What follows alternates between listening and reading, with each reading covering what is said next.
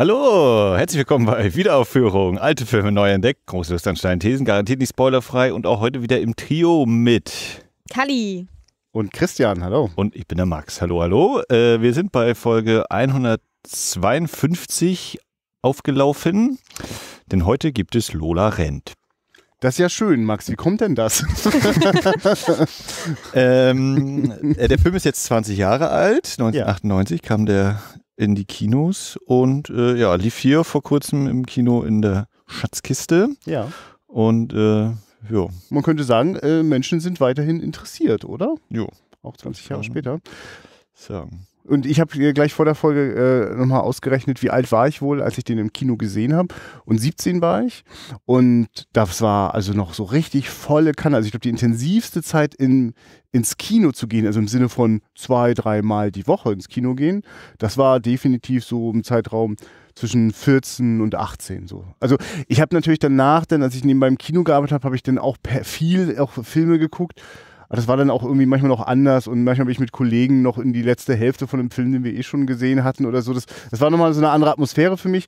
Äh, dieses so, ich kaufe mir ein Ticket so und will jetzt den neuesten so und so Film sehen, wo es mir manchmal auch egal war, was oder wo man manchmal so lustige Deals hatte, wie der Kumpel sagt, wir gucken jetzt Fair Game. Was? Das Ding mit dem Model und diesem anderen Typen? Nö. ja doch, komm, ich bezahle dir auch die Hälfte deiner Karte. Na gut. Und dann auch nicht selten direkt nach der Schule, zack, ins Kino. Ne? Also auch in das Kino, das da auch bei euch gleich um die Ecke ist, schön ins Cinestar. Und äh, das hatte da mich damals gerade aufgemacht und ähm, und so werde ich da irgendwann dann auch drin gesessen haben und Lola Rent geguckt haben. Und ich weiß noch, das war schon was Besonderes, dass ich in einen deutschen Film gehe. Ich hatte schon sehr, sehr großen Bock, diesen Film zu sehen. Äh, das war nicht so mein Beuteschema in dem Alter, das kann ich auch sagen. Ich habe eher gedacht, deutsches Kino, das auch damals schon waren es Komödien mit Til Schweiger. Da hat er noch nicht so oft Regie geführt oder produziert, aber mhm. auch da gab es öfter mal so das Gefühl, ich gucke jetzt nicht den bewegten Mann oder so und weiß gar nicht, wie viel Unrecht ich äh, einem Sönke Wortmann-Film da tue oder so, aber ähm, Lola Rent war ganz schön sexy. Das hat ganz schön Lust gemacht. Also ich wusste auch nicht viel über einen Tom Tück war oder wie der Film erzählt. Doch, ich glaube, das wusste man. Mhm. Das, davon hat man sich irgendwie erzählt. Also deswegen bin ich gerade schon noch neugierig, bevor wir ihn gleich gucken, äh, wie, wie ihr auf den gestoßen seid, weil ich vermute, ihr habt ihn nicht im Kino geguckt. nicht damals, nicht ja, genau. Also ich, da war ich ungefähr zehn. ja. Äh, und bei mir war, glaube ich, eher äh, Fußball-WM in Frankreich wahrscheinlich das beherrschende Thema in dem Jahr. Äh, aber ich habe keine Ahnung, weil ich den das erste Mal oder wie ich den das erste Mal gesehen ja, habe. Ich nehme an im Fernsehen und äh, ja, jetzt beim Wiedersehen. Also Gab es dann vor, Vorwissen beim Fernsehen gucken? Also im Sinne von, das ist der Film, der dann auch gar nicht so unerfolgreich war? Oder, oder Keine Ahnung. Also ich glaube irgendwie vielleicht die Wahrnehmung Franka Potente, Moritz bleibt treu als bekannte Schauspieler. Aber sonst keine Ahnung. ich weiß es nicht. Kann ich nicht mehr. Einfach nur, was so. du erinnern kannst, Kali, so mit, mit Lola. Du kennst, du kennst ihn ja schon. Genau. Ähm, ja, also ich muss mal vorausschicken. Also ich war, ich war zwölf, als er rauskam. Und ich habe damals auch viele Filme geguckt, war auch so, ich sag mal so, ich habe unglaublich viele Filme geguckt im Alter. Weil wir hatten damals hatten wir uns da gerade Premiere geholt, das war ja das große neue Innending damals mhm. gewesen. Und das, dadurch kam ich ja auch nicht vom Fernseher wirklich weg, voll im Winter. Und ich hatte aber immer einen gewissen Vorbehalt bei deutschen Filmen. Mhm. Weil ich hatte, ähm, ne, man ist ja, man, man, wir sind ja auch mit dem amerikanischen Kino aufgewachsen und die haben ja eine ganz andere Inszenierung. Und habe damals mal gedacht, oh, deutsche Filme, ach, naja, mal gucken, wie das ist. Und wurde damit auch gar nicht warm und habe dann Lola Rent auf Premiere auch äh, gesehen. Das war dann auch, also das war auch kurz, also kurz nachdem es dann auch wirklich auf Premiere lief. Das war ein mhm. Jahr später, denke ich mal. Ja. Habe das aber nicht mehr ganz so in Erinnerung und weiß, dass ich damals dachte, oh, ist besser als gedacht, aber hm. so. Jetzt ist aber der Punkt, dass sich meine Haltung mit, mit dem Alter komplett gedreht hat. Mittlerweile gucke ich unglaublich gerne deutsche Filme und finde auch, dass sich das deutsche Kino unglaublich entwickelt hat und bin deswegen auch extrem gespannt auf die Sichtung heute. Hm. Bei mir kam damals so der erst, bei mir war damals, ich kann das sogar noch genau benennen, bei mir kam der, der Wendepunkt damals mit Lambok. Das war der mhm. erste deutsche mhm. Film, wo ich echt dachte, oh, die nehmen sich nicht zu ernst. Herrlich. Und ich fand dann, und mich hat damals auch Moritz Bleibtreu mhm. unglaublich begeistert. Ich liebe sein Spiel auch heute noch. Ich finde, er hat mhm. eine wunderschöne Artikulation und, und schöne Mimik. Ähm, und das hat mir damals aber gar nicht gewahr gewesen. Also zum Beispiel jetzt, die meisten haben ja angefangen mit Knockin' on Heaven's Door, was du schon mit angedeutet hattest. Das, den habe ich recht spät gesehen und ich bin auch kein Till Schweiger-Fan. Also mhm. überhaupt nicht.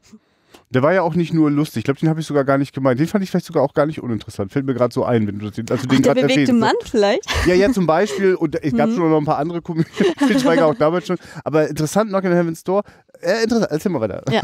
Naja, nichtsdestotrotz, und das ja. habe ich ja nicht so wahrgenommen tatsächlich. Das war dann auch immer, das war ja noch wieder davor auch gewesen. Mhm. Und ich habe dann erstmal mit Lambo fand ich immer das schön, dann kam Schule mit Daniel Brühl und dann war auch erstmal gar nichts, weil dann, im deutschen Kino habe ich mich damit gar nicht so befasst. Und das kam in den letzten Jahren und dann war für mich so das große Ding, wo ich dachte so, nee, das deutsche Kino, das, ähm, da musst du wirklich hingucken vom Suchen und Finden der Liebe.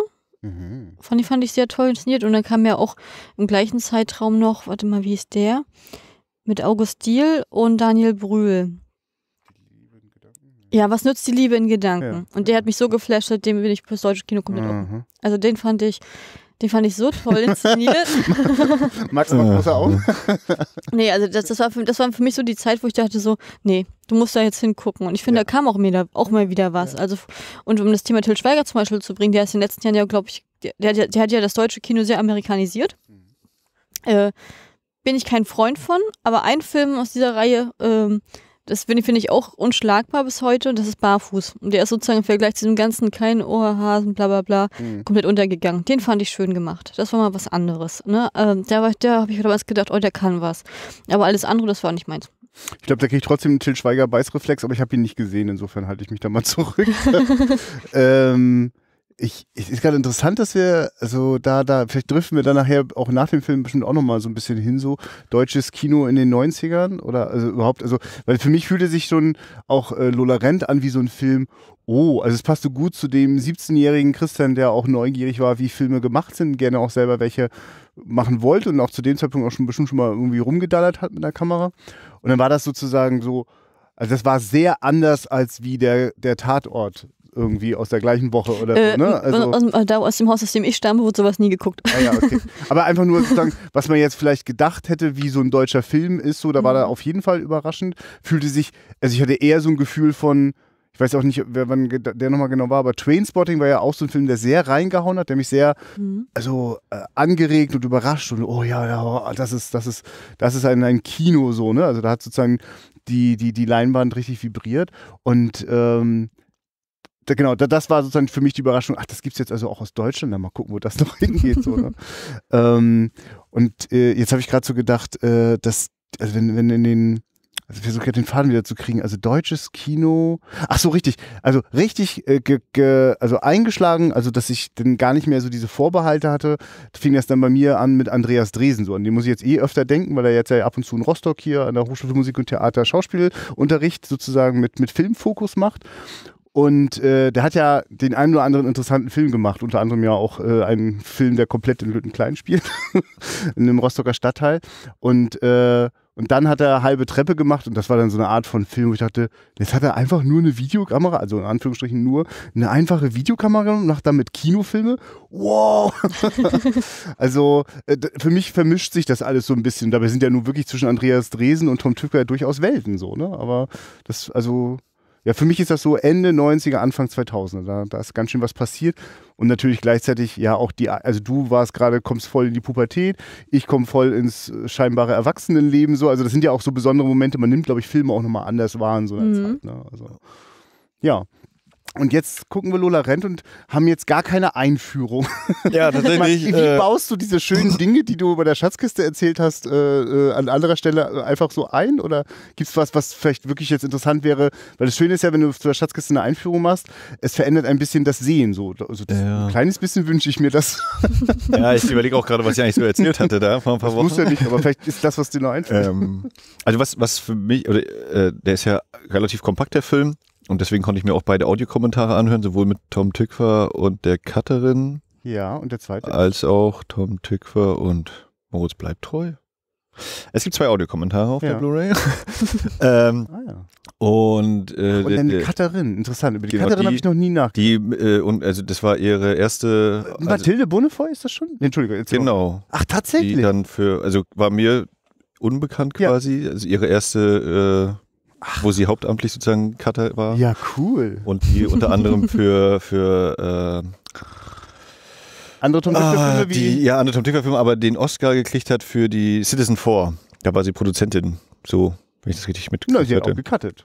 Dann auch dieses. also, ich, also auf jeden Fall. Mindestens, als- also ich, Bei den, den, den Oscar, weil es war wahrscheinlich bester Dokumentarfilm, dann wird das Genau, ja richtig, Produzenten genau, ja, Dings sein, also- ne? Aber genau. ich weiß, dass, genau, die Laura Poitras hat in Berlin bei Mathilde Bonnefoy geschnitten, ich glaube gemeinsam mit. Genau. Äh, Mhm. Und die haben auf jeden Fall erzählt, dass die, äh, wie gesagt, es war ihre erste Arbeit, wo sie eben Cutterin war und nicht Assistenz oder zweiter Cutter Ja. oder sonst wie. Und Das ja. ähm, haben gesagt, so, sie haben erstmal alles gesichtete, äh, alles Material von vorn nach hinten durchgeguckt, haben dann einen Teaser erstellt und auf Basis dieses Teasers haben sie dann angefangen, äh, das sollte der Rhythmus und das Tempo des Films sein. Und dann haben sie erst angefangen eben, also sie haben nicht irgendwie so, wir machen heute mal eine Szene und dann machen wir eine andere Szene und dann gucken wir nachher mal, sondern haben erstmal alles komplett gesichtet irgendwie.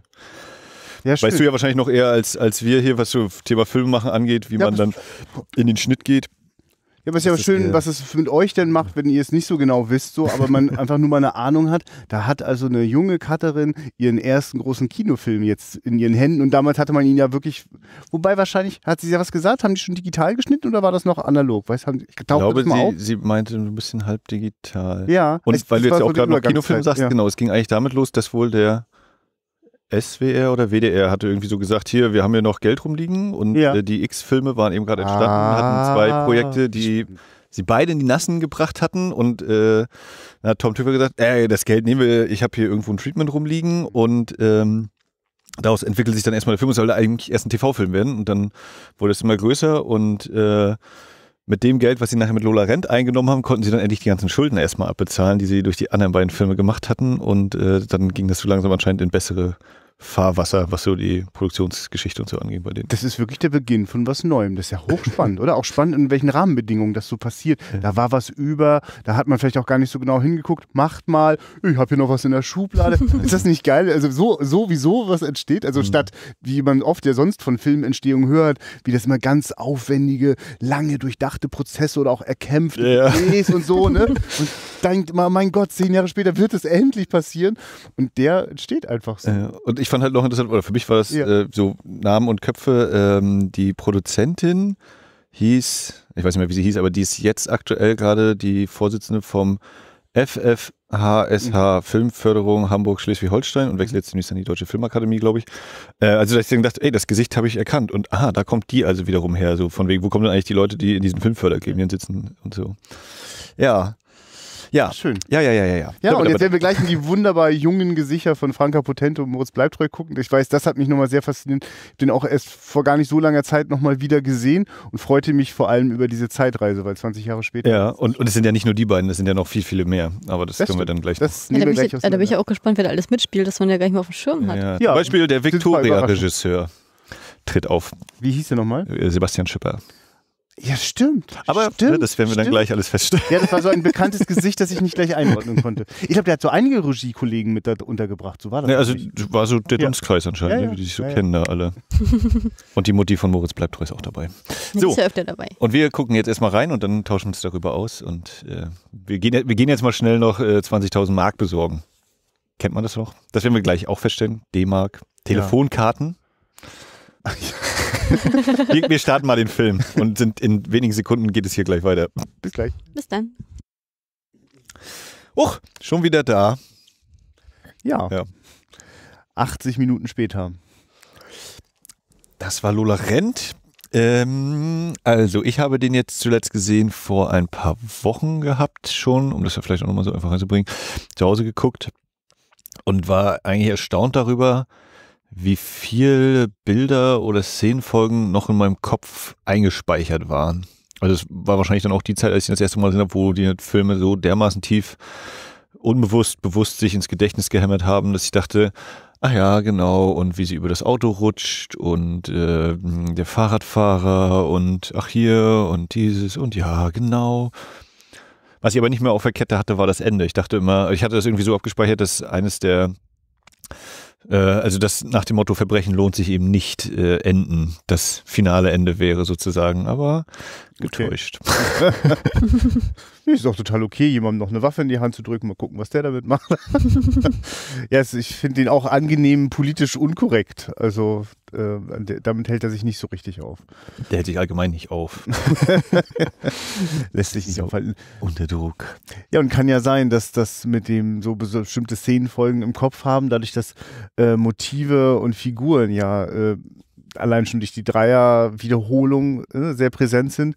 Ähm, plus, dass ja auch die äh, auch Figuren alle schon nochmal eingeführt werden. Das hatte ich zum Beispiel nicht mehr so richtig auf dem Schirm. Ich habe, glaube ich, auch beim letzten Mal bin ich ein bisschen später eingestiegen und das ist schon nochmal sehr interessant. Also einem sozusagen das äh, äh, Figurenrepertoire schon mal so in diesem äh, weißen Gewusel im, im sozusagen in der wie wir nennen, dem Intro sozusagen. Ja, der, der ewige Vorspann, ne? Also der geht ja gefühlt fast zehn Minuten, also du drüber nachdenkst oder so. Und, ja, ne? ja, ja. Bei der Länge des Films an sich.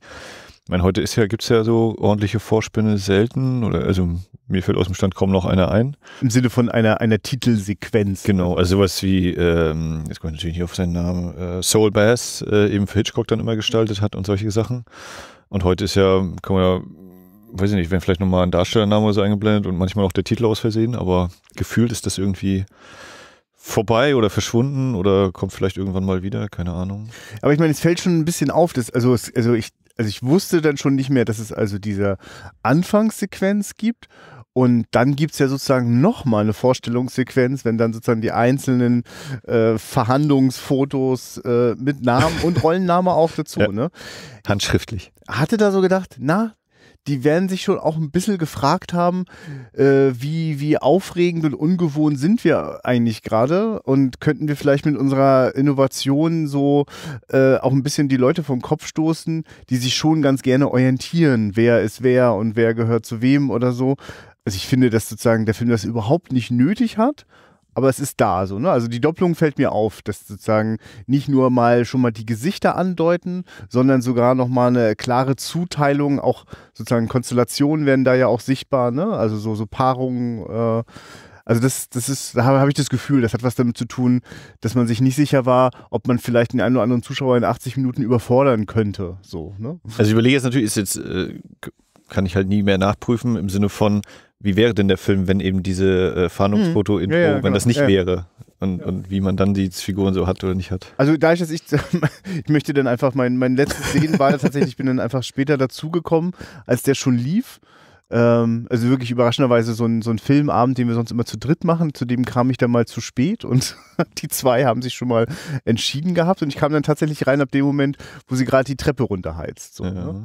Und äh, deswegen war es auch nochmal sehr schön. Man wird ja wirklich toll reingeworfen am Anfang, äh, gleich in das große Drama äh, zwischen den beiden. Das, das war jetzt sozusagen auch, das habe ich also wirklich jetzt seit 20 Jahren nicht mehr gesehen. Ähm, das war schon, äh, das ist schon cool, dieses, also eigentlich diese völlig absurde Grundkonstellation, die man ja wirklich mal einfach schlucken muss, sonst kommt man da ja auch nicht weiter in dem Film. Ähm, und die einfach darüber, finde ich, äh, äh, sozusagen dem Zuschauer zu indizieren, einfach weil das sind zwei junge Menschen, die sind in so großer Not und oh Gott, was macht man denn da bloß so, ne? Also man ist schnell in dieser, in dieser Geschichte drin und ja, vermutlich bräuchte man das nicht und gleichzeitig macht das natürlich auch einen Heiden Spaß, also weil der Film ja auch dafür viel Zeit investiert in dieses, äh, wie also das heißt, er investiert nicht viel Zeit, aber er, er deutet immer an, da steckt ja hinter jedem Menschen ein ganzes Leben, eine ganze Biografie und könnte ja sein, ein Tag macht einen großen Unterschied. Ja. Wie, wie war es denn für dich, Carly, mit äh, sozusagen dem Wiedersehen? Wann hast du ihn, zu- kannst du dich erinnern, wann du ihn zuletzt gesehen ja, hattest? Hab ich. Äh, Äh, ich habe schon geguckt. Äh, vor 19 Jahren habe ich ihn das letzte Mal gesehen. Äh, ich konnte mich tatsächlich nur an drei Sachen erinnern. Zum einen an den, an den Videoclip mit Thomas D., weil der, die Musik hier auch sehr prägnant war. Ja. Ähm, dementsprechend auch ein paar Szenen, die da so auftauchen, hatte ich noch im Kopf. Dann Mannys Tod, den hatte ich noch in, auf, äh, vor Augen gehabt. Und tatsächlich, äh, das ist, und dann wusste ich halt nur noch, dass es immer wieder losgeht. Mehr wusste ich nicht mehr. Ansonsten war alles weg. Das war am Anfang für mich, als wenn ich einen komplett neuen Film gucke. Also es war für mich total fremdeln. Also ich konnte mich auch an diese Trickfilmsequenzen überhaupt gar nicht erinnern. gar nicht, okay. Also das war so, hm. Muss aber auch sagen, mir haben die auch nicht gefallen. Deswegen, Das ist wirklich ziemlich hässlich. Ja. sagen, ja, ja. also, Oh, also oh. dadurch, dass mir das nicht gefallen hat, glaube ich, habe ich das eher verdrängt. Deswegen äh, kann ich mir das auch Ja. erklären, warum, äh, warum ich mich daran nicht erinnern kann. Hintergrund dazu, ähm, das ist der gleiche Zeichner wie Zehn kleine Jägermeister von den Toten Hosen. Ja, das Äh, der fand heißt, ich auch hässlich. ja, äh, und, und dieser, dieser hässliche, der diese hässlichen Zeichnungen macht, das ist, ja, der Arme. Das habe ich auch gerade gedacht. Aber- heißt äh, Rette mal bitte seine Ehre. pass auf, pass auf, wir, wir machen jetzt noch einen riesen Bogen. Äh, der heißt Gil Alkabetz, also Gil wie Gil Ofarim. Und äh, Kali hat ja gerade neulich geguckt äh, Juliet Naked und da lief der Vorfilm Megatrick von Ja. einer äh, Studentin der äh, oh Gott, Ja. äh, Babels, Babelsberg Potsdam und da war dann auch noch Ja, im Abspann mit Babelsberg. genannt äh, eben Herr, ich bin nicht sicher ob Professor, aber Gil Alkabetz eben Ach, als ähm, hat der ist also also Mhm. aktiv sowieso noch, ne? man hört ja wahrscheinlich nicht einfach auf, aber äh, ähm, eben auch im filmhochschulischen Kontext aktiv. Der Megatricks sind die schönsten zwei Minuten, die man zurzeit auf einer Leinwand sehen kann. Das ist schon nochmal ein Unterschied. Ja.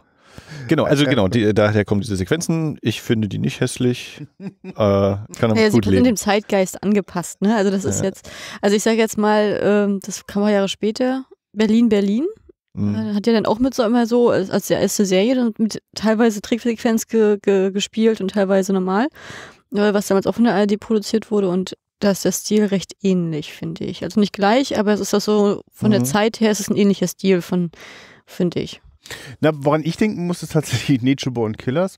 Und äh, dass das sozusagen äh, einfach eine, eine, eine weitere, also der ja auch äh, quasi verschiedene Filmformate, unter anderem auch Trickfilm, benutzt, um so auch, auch Gefühlszustände, ne, äh, einfach äh, Atmosphären zu kreieren. Und das funktioniert natürlich schon. Also auch wenn ich das jetzt selber, diesen Zeichentrickstil nicht mag, äh, also im Sinne von konkret diesen Stil, den der dieser Zeichner dort wählt, ne?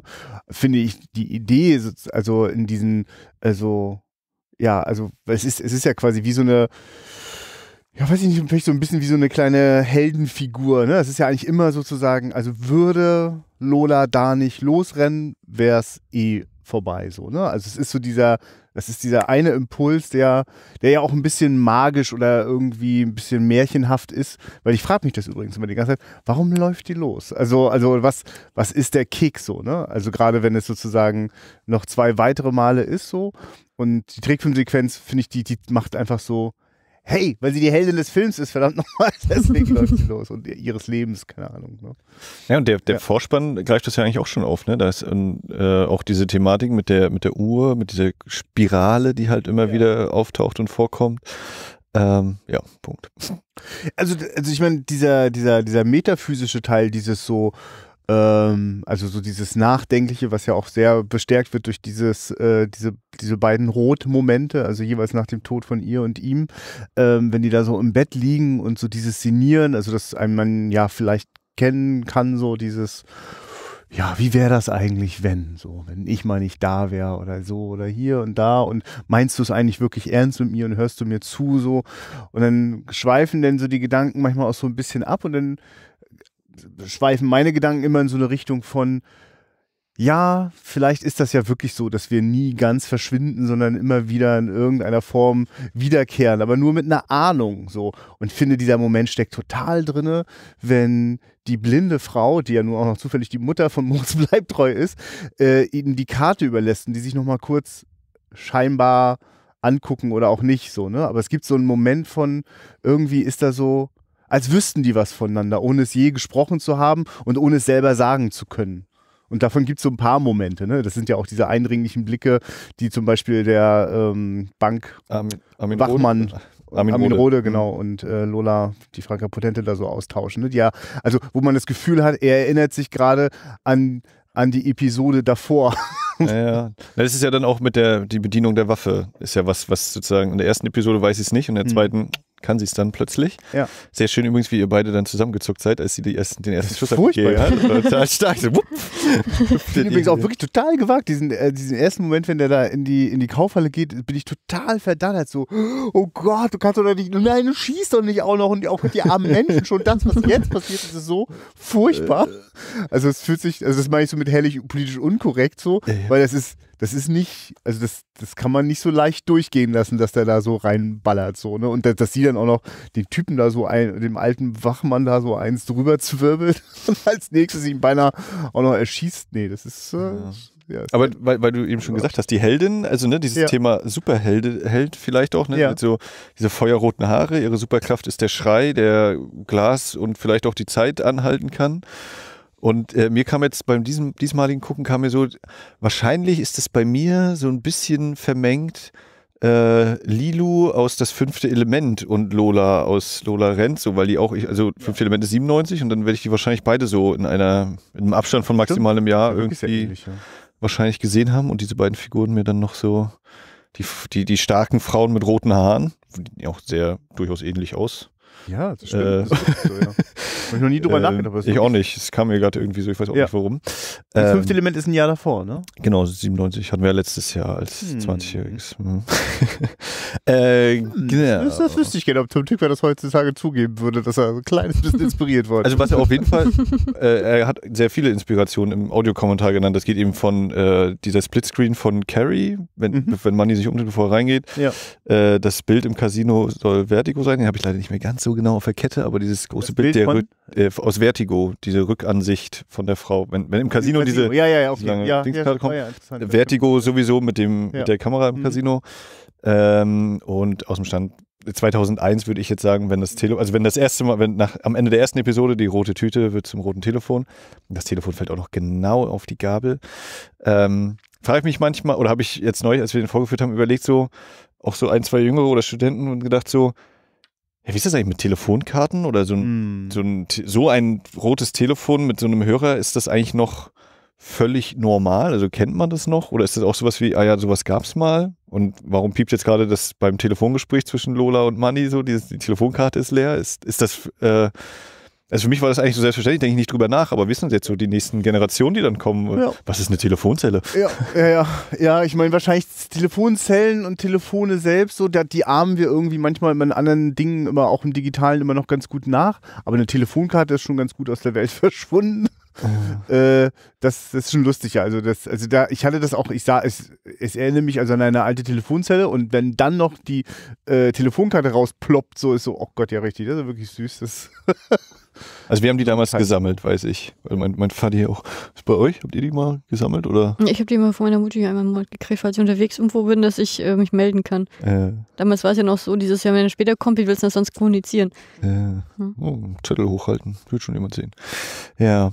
Ja, genau. Also es ist ja wirklich ansonsten auffällig, dass das natürlich auch eine handylose Welt ist. Und die Welt war ja da schon fast nicht mehr handylos. Also das äh, ist interessant. Das, also das ist komplett weggelassen, der Teil, ja. Also ich kann mich erinnern, ich glaube 98 hatte ich schon ein großes, dickes, blaues Alcatel, hatte auch mal eine tragbare mit dem man auf zwei. Zeilen sogar schon SMS schreiben konnte für 39 Cent. Also ich habe mein erstes Handy tatsächlich mit 15 gekriegt, also drei Jahre später. Ja, ja. Ja, ich war daher schon. Das war ja noch diese Klober, richtig. Ja, ja. Wir jetzt wieder zurück. Meine Lieblingsstelle ist übrigens, ähm, wenn ihr Vater, also wenn sie das erste Mal bei ihrem Vater ist, was ist denn los? Äh, also ich finde das Spiel sowieso total geil. Also schon, schon allein, wenn sie sagt, Papa. Und dann haben wir halt seinen Blick in die Kamera und dann guckt er ihr so hinterher mm, mm, und schüttelt einmal den Kopf, das finde ich schon geil. Und wenn sie dann sagt, ja Manni, hey, Manni, den kenne ich gar nicht. Wer ist das denn? Das ist mein Freund seit über einem Jahr. Also die, diese, diese Reaktion von ihm, die kommt so, hä, wer ist das denn? Was soll denn das? Das ist mein Lieblingsmoment in dem Film irgendwie. Ich finde überhaupt auch da die zweite Episode wirklich am allerstärksten, weil Herbert Knaup da wirklich ein ganz großartig differenziertes Spiel am Start hat. Also da geht dem schon eine Menge durch den Kopf, während ihm seine äh, Kuckucksei-Tochter die Ja, Waffe ja. an den Kopf hält. So. Und gerade weil es sozusagen ein, in der ersten Episode alles so brutal ausgesprochen ist und man denkt so, ach Mensch, die arme Lola und dieser, dieser Schweinevater, der kein Vater ist äh, und die sein woll, äh, wollte und will wahrscheinlich, ähm, wie der dann sozusagen, wie das bei ihm so die Rädchen sich so drehen. Also ist auch geil, dass das keinen Dialog gibt da. Ne? Also ich denke immer, jetzt sagen die noch was, während der Ja. Lars Rudolph da das Geld holt, so, ne? Dann sind die da, dann schauen die Absolut, sich stimmt. nur so an. Und da geht eine, geht eine ganz schöne Menge ab. Das ist echt cool. Also es ist ja sozusagen auch so äh, in den beiden, zwei, äh, in den letzten beiden Episoden ist das ja auch schön, wo dann plötzlich so der Fokus hingeht, ne? Und da merke ich übrigens, dass mich zwei Sachen dann gerade in der letzten Episode richtig überrascht haben. Also weil es sehr unvermittelt kommt, dass wir zum Beispiel mit dem, ähm, dem Herrn Schipper, oder dem Fahrradfahrer, sozusagen mal eine Runde abbiegen, so. Da bin ich so irritiert, so, ja, okay, ja, alles klar, dann sind wir da beim Penner und so. Und dann helft mir mal, das habe ich entweder verpasst oder es fehlt wirklich ein kleines Stückchen. Ähm, wir sind gerade im Casino gewesen und dann schneidet es um und wir sind äh, dabei, wie ähm, Moritz bleibt treu, Manni äh, dem, dem Penner hinterher rennt. Wie hat das angefangen? Haben wir diesen Moment gesehen, dass er den realisiert hat? Ich habe das irgendwie. Ja, Also der- er, der- der er, stand er mit hat der- das Fahrrad, ne? Okay. nee, der Morkali. Also er stand mit der blinden Frau ja dann, das war der Moment sozusagen, wo er sich für die, äh, für die Karte bedankt. ja. Und dann sagt die Frau, warte mal kurz. Und macht so. Und da kommt in der Straße der Penner vorbeigefahren und dann macht es bei ihm Klick und er so, hey, und rennt hinterher. Ach so, lustig, ja. Diesen Klick habe ich dann offenbar kurz verpennt. Da war ich wahrscheinlich gerade mit dem metaphysischen Gedanken zwischen der blinden Frau äh, und Moritz bleibt treu. Ja. Also, Aber das würde Ja. äh, dem deine Theorie natürlich Ja. unterstützen, weil sie genau in dem Moment sagt, so warte kurz, halte, halte mal inne sozusagen. ja. Dann kommt eben diese, die Kamera dreht sich so und der Fahrradfahrer und Moritz bleibt treu, dieser, dieser Blick, äh, oh, und dann läuft er eben los. Ja. Naja, und der Penner wird ja auch schneller. Du auch. Das, also so, auch das äh, durchaus finde ich humorig, wie, wie eben Sebastian Schipper manchmal Fahrrad fährt, wie, Mhm. wie Joachim Kroll dann in die Pedale tritt, wie Moritz bleibt treu läuft und so. Ähm, das ist auch sehr schön. Ich finde es, äh, ohne dass ich jetzt äh, daraus schon direkt was ableite, mal wieder äh, interessant, dass Lola häufig von rechts nach links äh, läuft. Was ja für uns quasi, also man kann jetzt sagen, ne, sie läuft eben entgegen der Zeit, sie versucht sozusagen die Zeit zurückzudrängen. Äh, aber üblich ist ja, wir lesen von links nach rechts und so weiter und so fort und dementsprechend laufen wir eigentlich von, auch von links nach rechts. Habe dann auch heute wieder versucht, so darauf zu achten, wann ist es mal anders. Äh, was natürlich ist, ist, sie läuft auf die Kamera zu. Wenn diese äh, ja, Kranaufnahme gefühlt kommt, wo um die U-Bahn fährt und sie da so quer rüberläuft, da läuft sie von links nach rechts in der Friedrichstraße, äh, wo man sagt er auch im Audiokommentar Jahr immer mal gefragt worden hier, ja, wie, was muss sie denn da alles absperren und so. Ja, nee, da war halt nichts los. Und heute ist da eben völlig überfüllt und alles, ne, wissen wir auch. Mhm.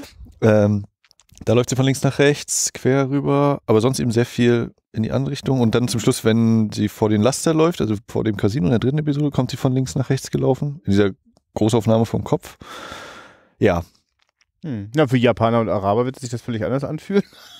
ja, das ist doch die logische Blickrichtung. Ähm, ja, das stimmt. Es ist mir auch aufgefallen und ich glaube, ich hätte wahrscheinlich auch den. Das weiß ich gar nicht. Also ich glaube, sie läuft auch äh, in, der, Ja. in der Animationssequenz, wenn sie die Treppe runterläuft, läuft sie auch gegen den Uhrzeigersinn quasi. Läuft sie, mhm. ja, Sozusagen. dreht die Zeit zurück. Ja. Ja, genau. Das wäre ja ein Motiv, das auch so eingeführt ist, das ja gut zu dem passt, was da Ja. passiert. Es ist übrigens auch so, dass ich, also ich fand das heute besonders bewegend, so diese Momente, wo das noch nicht klappt so. Und, und dann auch wirklich diesen Moment von, nee, nee, es kann so nicht sein, so, ne? Und da, oder wenn, wenn man die so, ach, ich bin nicht tot so. Also es ist so dieses, okay, und dann kommt bei mir ganz stark, Jetzt will ich aber wirklich mal drauf achten, was passiert denn in der dritten Runde? Was ist in der dritten Runde anders? Also, was, also unterscheidet sich, also in was unterscheidet sich das denn? Also, wie kann das denn beim dritten Mal guter ausgehen? Um Ja. nicht zu sagen, alles ist gut, aber warum geht es für die diesmal sehr viel besser aus? Warum muss diesmal keiner von den beiden sterben? Was machen die anders? So habe ich wirklich so hingeguckt und ich bin jetzt erstmal noch ein bisschen neugierig. Ich habe mir ja schon so ein paar Thesen zurechtgelegt. Es gibt so ein, zwei Momente, die sind schon, also die, die, die, da könnte man fast vermuten, da war Tom Tykwer vielleicht auch was wichtig, so, so empfinde ich das. Ne? Aber wie ging euch das? Was macht, was, was, was ist anders in der dritten Runde? Warum kann das gut ausgehen? Außer dass das schön ist, dass der Film ein Happy End hat, aber. Möcht, möchtest du was sagen? Also ich wollte eigentlich auch einen Gedanken äußern von dem Thema von vor, Ja, dann mach mal. vor, von vor, Vor- zehn vor. anderen Themen, glaube Das ist ich. egal, das passt zu einem Film. ja, Das, äh, also bitte. Film, Wir drehen einfach wieder zurück und machen nochmal. Also ich wollte eigentlich nur mal kurz Ja, mach. was, was du vorhin gesagt Ja. hast, hinzufügen mit der zweiten Runde, Ja. wo er so, zu- wo, wo es so stark fand, ist, dass sie sich so anschweigen. Ja. Das fand ich auch schön. Mein Gedanke war dann so, ja, das war ein böser Gedanke. Ich sag, hier schicke ich mal voraus. Ja, ich nehme nicht noch ein zweites Kuckuckskind an. Also das, Ja, ja, das ja. war, das war wahrscheinlich, und da weiß ich es ja eigentlich noch gar nicht, aber er Ja. weiß es ja. Ja. Und weil die andere hat es mir vorher gesagt, war ja auch nicht erbaut darüber. Und das war mein Gedanke, wo ich dachte so, okay, ich glaube, die andere hat keine Chance mehr. Das Ding ist jetzt gefestigt. Das war jetzt das, das war jetzt der Nagel auf den, auf den Sarg. Aber für ihn auch, oder? Er sieht richtig ein bisschen desillusioniert aus. Ja, so. es Ja, ja, bricht ganz schön was weg. Dieser Blick ins Nichts, den hat er drauf. Ja. Nee, ich finde, der hat wieder am stärksten gespielt. Ähm, und das war die andere Frage, war jetzt mit dem dritten. Äh, Mhm. was- Ja, was- äh, was- ganz kurz noch, ja. also, ne, wenn, wenn Ja. sie sich da gegenüberstehen mit dem Geld holen äh, und du sagst keinen Dialog und dann kommt ihr einfach nur, ciao Papa. Und das ist es, das reicht, ne? Und mehr ist, äh, bitteschön, dritte So. Episode. Und die dritte Episode, na, ich habe die ganze Zeit überlegt, also ich hatte, so, jetzt muss ich das für mich sortieren. ähm, bei der ersten Episode ist sie sozusagen ja in der mittleren Schiene, sozusagen von der Zeit. In der letzten Episode ist sie schneller Mhm. Und bei dann war sie dann, äh, Ich weiß gar nicht, ist sie schneller oder ist sie, sie ist langsam? Ne. Nee, sie ist schneller. Weil sie ist über den Hund drüber gesprungen, sie ist schneller in der Zeit.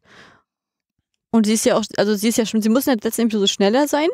Einfach aus dem Grund, weil ähm, man kann ja, hat ja die zeitliche Orientierung perfekt an diesem weißen Auto. Ne, zum ersten rennt sie vorbei und dann wird er sozusagen vorne getroffen beim Auto. Mhm.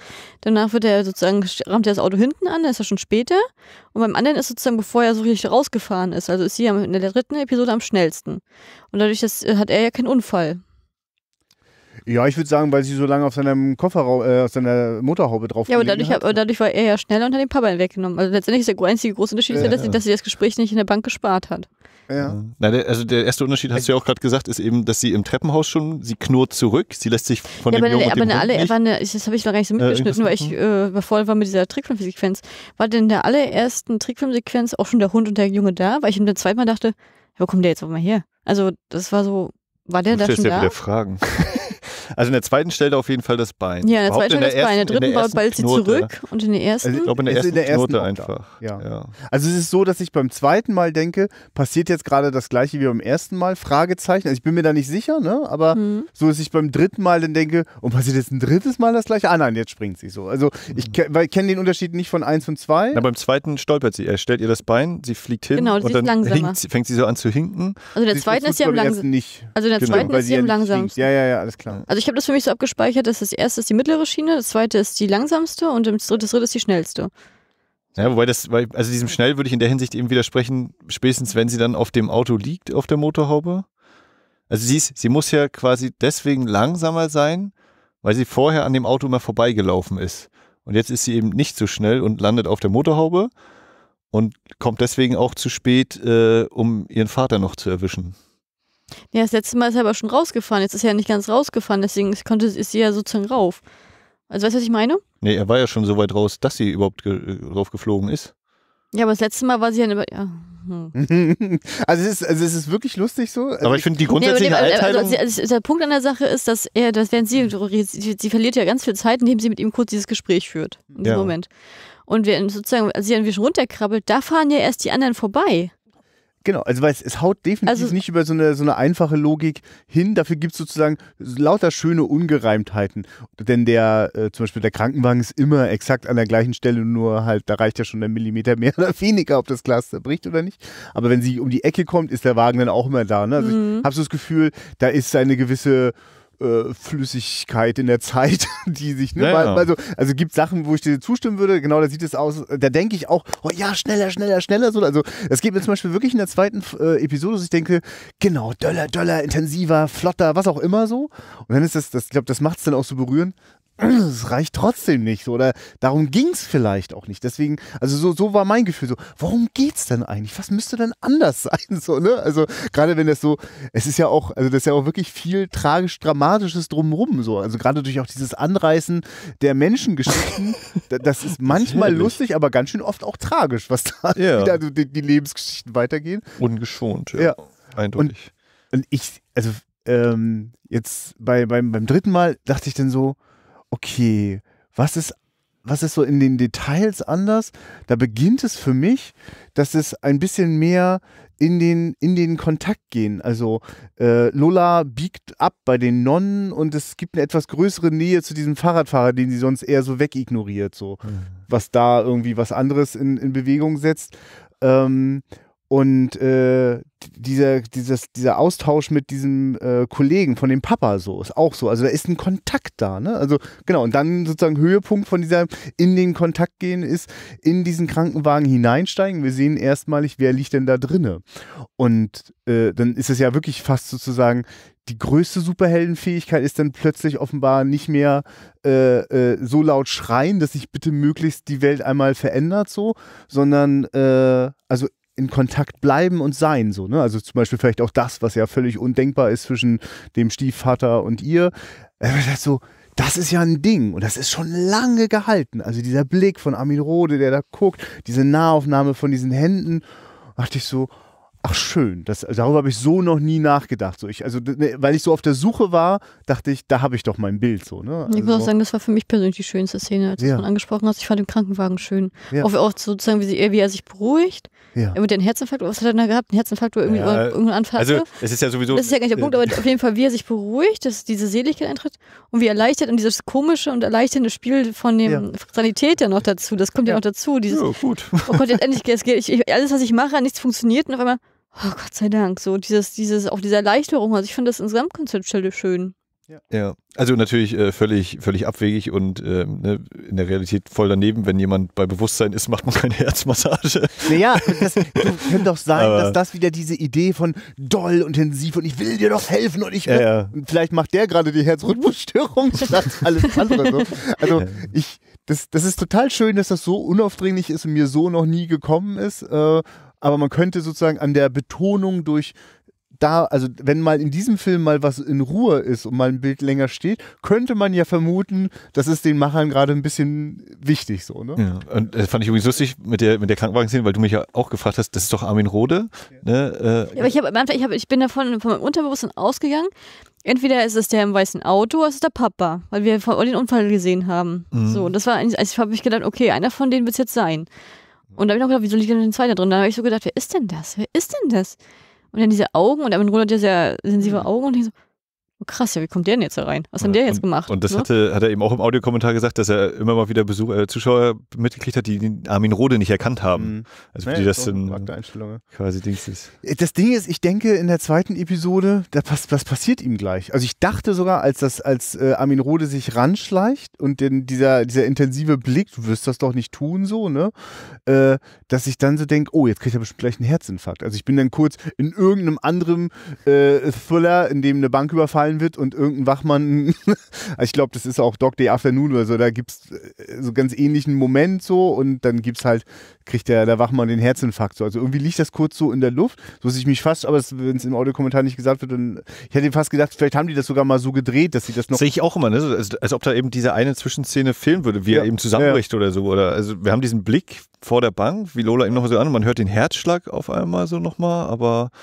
Also selbst mit dem, ich habe ihn vor vielleicht fünf Wochen gesehen. Also hättet ihr mich jetzt vorher gefragt, wer liegt im Krankenwagen, hätte ich es nicht gewusst so. Also bin also auch überrascht, sehe den da, aber diesmal bin ich nicht überrascht im Sinne von, ja, das, ja, das kann ich mir vorstellen. So wie der so, wie so bemüht, äh, äh, also was für Schwierigkeiten der gekommen ist, als Lola da mit Waffe rumgelaufen ist. Also, also so wie bei dem Papa, weißt du, also die Leute sind ja, das wird ja quasi die ganze Zeit angedeutet, die Leute sind mittendrin in ihrem Leben und da sind viele aufregende Dinge und wenn dann plötzlich so eine Rothaarige vorbeiheizt, wird das nochmal ganz kurz aufgewühlt, so wird kurz sichtbar irgendwie. Und, ich meine, ja. ne, das wäre jetzt so die Theorie, dass man das quasi den, den Lauf der Dinge ändern kann. Und in der dritten Episode kriegen wir aber auch die Sachen mit, die sich eben nicht ändern lassen, ja. wie eben der Zusammenstoß äh, Ludger Pistor mit, ja. dem, diesem weißen Auto. Das wird dann immer nur noch schlimmer. genau noch der Motorradfahrer einmal drüber. Und, ja. und, auch da die, die Frage, den Motorradfahrer, da, da, hatte ich auch nie nicht so intensiv drüber nachgedacht, aber dann eben beim Audiokommentar hören, der Motorradfahrer ist äh, habt ihr verknüpft mit einer Figur im ich hab Film? Ich habe versucht, ich habe es aber nicht Ich habe es auch versucht, ich habe es auch nicht hingekriegt. Das ist der, der am Anfang das Moped geklaut hat, weswegen sie zu spät ah, kam. Ach Gott, ja. Aber seine Nahaufnahme, was habe ich auch Genau, aber er hat gleich seine Strafe gekriegt. Ja. Er, er, hat eben beim Klauen keinen Helm auf und da hat er einen Helm auf, deswegen ja. habe ich dann auch gedacht, ja. ja. krass, du hast in der Rückblende ist er schwarz-weiß, du hast zwar diesen weißen Anzug und dann das, aber Genau, hätten sie äh, wäre wär die Einstellung schwarz-weiß vielleicht noch gewesen, aber ich, ich merke auch so, mhm. krass, jetzt kriegt er so eine Nahaufnahme, also oder so ein Porträt und denkst so, Wer ist das? So. Also ich habe richtig Also ich finde, die Einstellungsgröße hat mich angesprochen mit, na du weißt doch, wer das ist. Und ich gucke so hin, nö. ja, danke dir. Hier, kennst du. Nee, ja. ja. ja.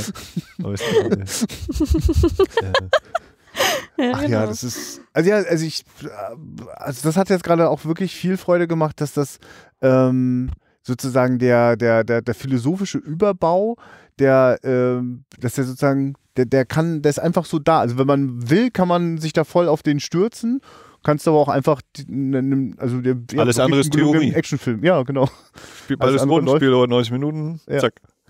Und Also was ich glaube, warum mir, oder also ich mag den Film sehr oder hat mir sehr unterhalten und ich glaube, es kommt eben so rein, diese Jugenderinnerung vielleicht, auch diese Musik, äh, kann man vielleicht auch mal sagen, äh, Tom Tückwer hat hier nicht nur Drehbuch und Regie, sondern eben auch die Musik gemacht. Ähm, ein kleiner John Carpenter. Ja, zusammen ähm, mit anderen macht er das ja tatsächlich auch immer wieder. Ne? Also und, und diese, diese treibenden Beats, dieses Techno-mäßige, das ist äh, etwas, was mich in meiner Jugend auch stark begleitet hat. Und ich kann mir gut vorstellen, dass das vielleicht auch so eine mit einer Initialzündung oder dass das gerade da in diese Phase mit reingeflossen ist. Und wie gesagt, auch, dass man gefühlt ja viele andere Filme wiedererkennt. Also, dass hier wohl jemand am Werk ist, also das ist nicht, so habe ich es damals nicht gesehen, aber jetzt gerade auch dann jemand am Werk ist, der selber auch eben Filme mag und die eben auch hier dieses Zitat oder das nehme ich mir und das baue ich irgendwie so rum ein und äh, mache daraus meinen Film eben. Und natürlich dieses absurde Tempo und allgemein diese ganze alles so hier, hier ist ein Topf, wir schmeißen alles rein und irgendwie funktioniert das eben. Also der Zoom auf Moritz bleibt treu am Anfang in der Telefonzelle, diese Zwischenschnitte, wenn, wenn der Polizist geschossen hat, also die Kamera fährt ran und dann ist in dieser Fahrt noch zweimal, glaube ich, ein Schnitt, wie er schneller, größer wird und sowas, wo du heute wahrscheinlich sagen würdest, nee, so macht man das nicht oder so, vielleicht auch damals schon gesagt hat, so macht man das nicht und äh, die wir haben Normalfarben, wir haben Rückblick in Schwarz-Weiß, wir haben Szenen, wo weder Money noch Lola dabei sind in dieser digital hm. billig alten Videokamera. Hm. Ähm, wir haben einen fantastischen Film, weil eben die Leute nicht sterben oder manche Leute können nicht sterben, manche müssen trotzdem ihren Unfall haben. Äh, und es funktioniert für mich einfach alles. Und die Schnitten, äh, die, die, die Schnitte, die, wenn sie hier dann dran denkt, wer, wer, wer, wer, wer, wo auch völlig klar ist, ne, sie hat die Haare anders, sie hat die Hände anders, das kann nicht alles die gleiche, der gleiche Nachdenkmoment sein. Und dann kommt man diese, so wie eben bei Fight Club, der äh, die reingeschmuggelten Einzelbilder sind und auch hier diese zack, zack, zack, zack, zack, zack, diese hohe Schnittfrequenz, wo du immer wirklich nur einmal ganz kurz so ein Gesicht siehst und die Namen hörst und ja, dann ist schon wieder vorbei. Diese Fotografien, wenn, wenn man dann eben abbiegt bei den Nebenrollen, äh, funktioniert für mich halt. Ich finde die Was wäre Event-Marketing allgemein sehr schön. Ich mag die generell bei Filmen, deswegen mag ich das Sliding Doors auch so gerne. Ähm, das zeigt ja auch immer, egal wie du es drehst, es geht nicht immer alles gut. Also wenn, ich sag jetzt mal, jetzt hat sie jetzt zum Beispiel das Ende des Geld, jetzt haben sie das Geld, es hat geklappt mit ihm. Ich meine, der wird auch noch, der, der äh, Typ wird auch noch feststellen, dass da ein paar Euro fehlen. Also von daher, wer weiß. D-Mark. naja, ein paar, paar D-Mark fehlen. Oder wer weiß, ob am Ende, ob das auf lange Sicht auch gut ist. Ähm, äh, aber bei manchen Sachen habe ich so gedacht, ist das jetzt im Film begründet? Oder wo, wo, kommt das jetzt her? Also zum Beispiel, dass sie jetzt, wenn sie im Casino mal auf die 20 setzt, wie kommt sie auf die 20? Hat das eine bestimmte Bedeutung? Hat das irgendwie, kam diese 20 schon mal vor? Dass sie seitdem, ich habe schon mal überlegt, ich kriege das aber nicht mehr zusammen. Ja, das ist ja eine Einblende sozusagen, seitdem sie, seit wann sie mit Money zusammen ist. Mhm. Das hängt ja im Kühlschrank mit Datum.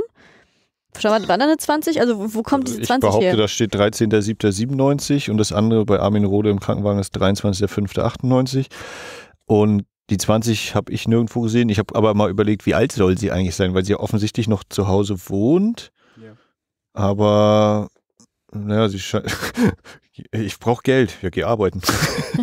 ja, also sie scheint auch nicht mehr zur Schule zu gehen und ich habe dann mal kurz überlegt, ist er eigentlich alt genug, um ihr Vater zu sein? Aber das ist nochmal eine andere Sache. Aber äh, genau, die 20 habe ich nirgendwo vorher gesehen, keine Ahnung, weiß ich nicht. Mhm.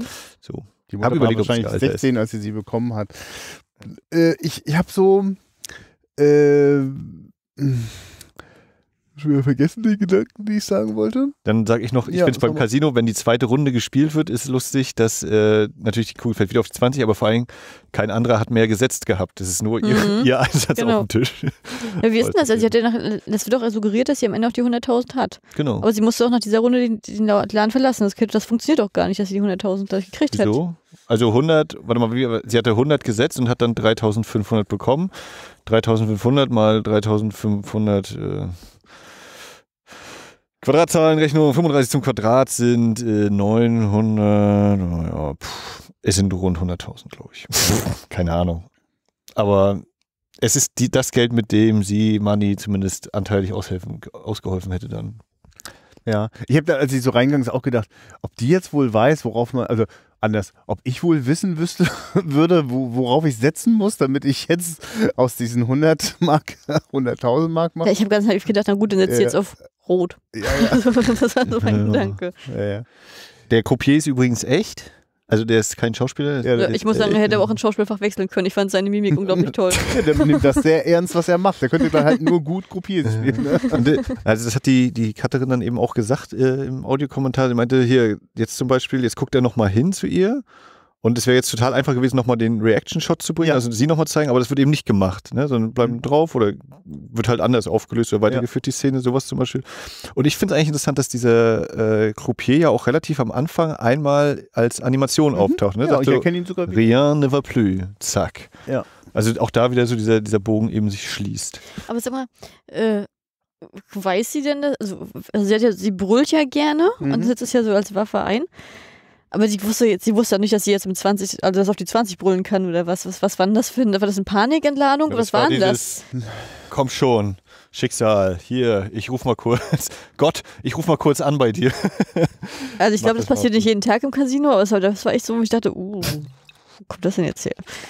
Dann kann ich mal mit ihm sprechen. Ein Spiel noch.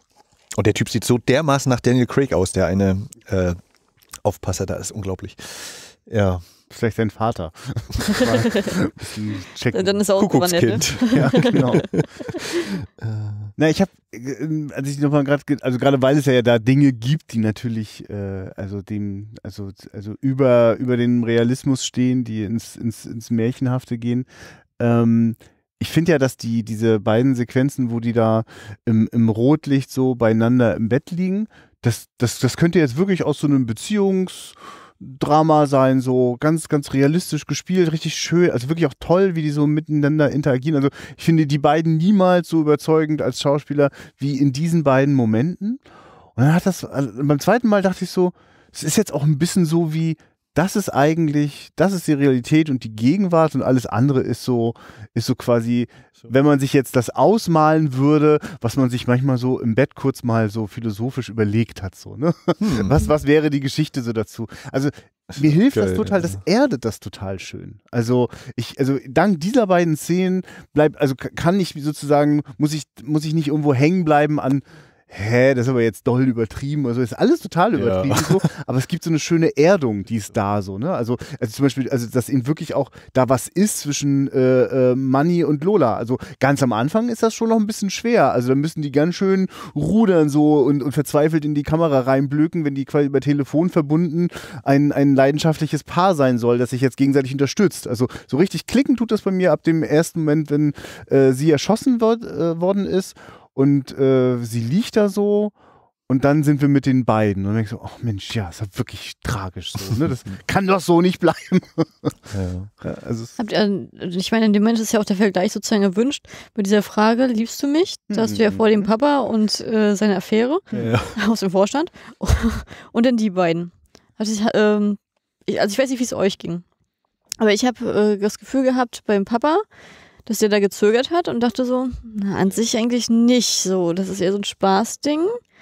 Äh, wenn dann eher sozusagen eine Freikarte, um da rauszukommen aus der Holle, die er täglich hat. So.